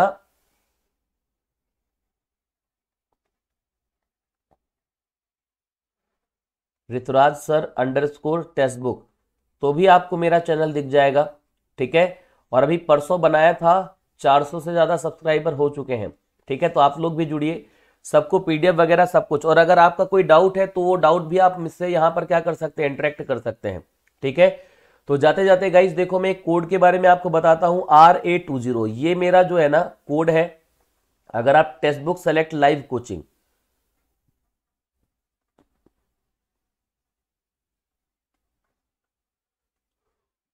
textbook select में आप कोई भी लाइव कोचिंग परचेस करते हैं राइट कोई भी अगर आप लाइव कोचिंग परचेस करते हैं तो उसका जो भी ऑनलाइन प्राइस रहेगा you will get twenty percent off अगर आप ये जो है ना कोड अप्लाई करते हैं ठीक है? चाहे आप banking SSC railway state government PCS कोई भी पर्टिकुलर आप एग्ज़ाम दे रहे हो कोई भी पर्टिकुलर बैच खरीदें ठीक है?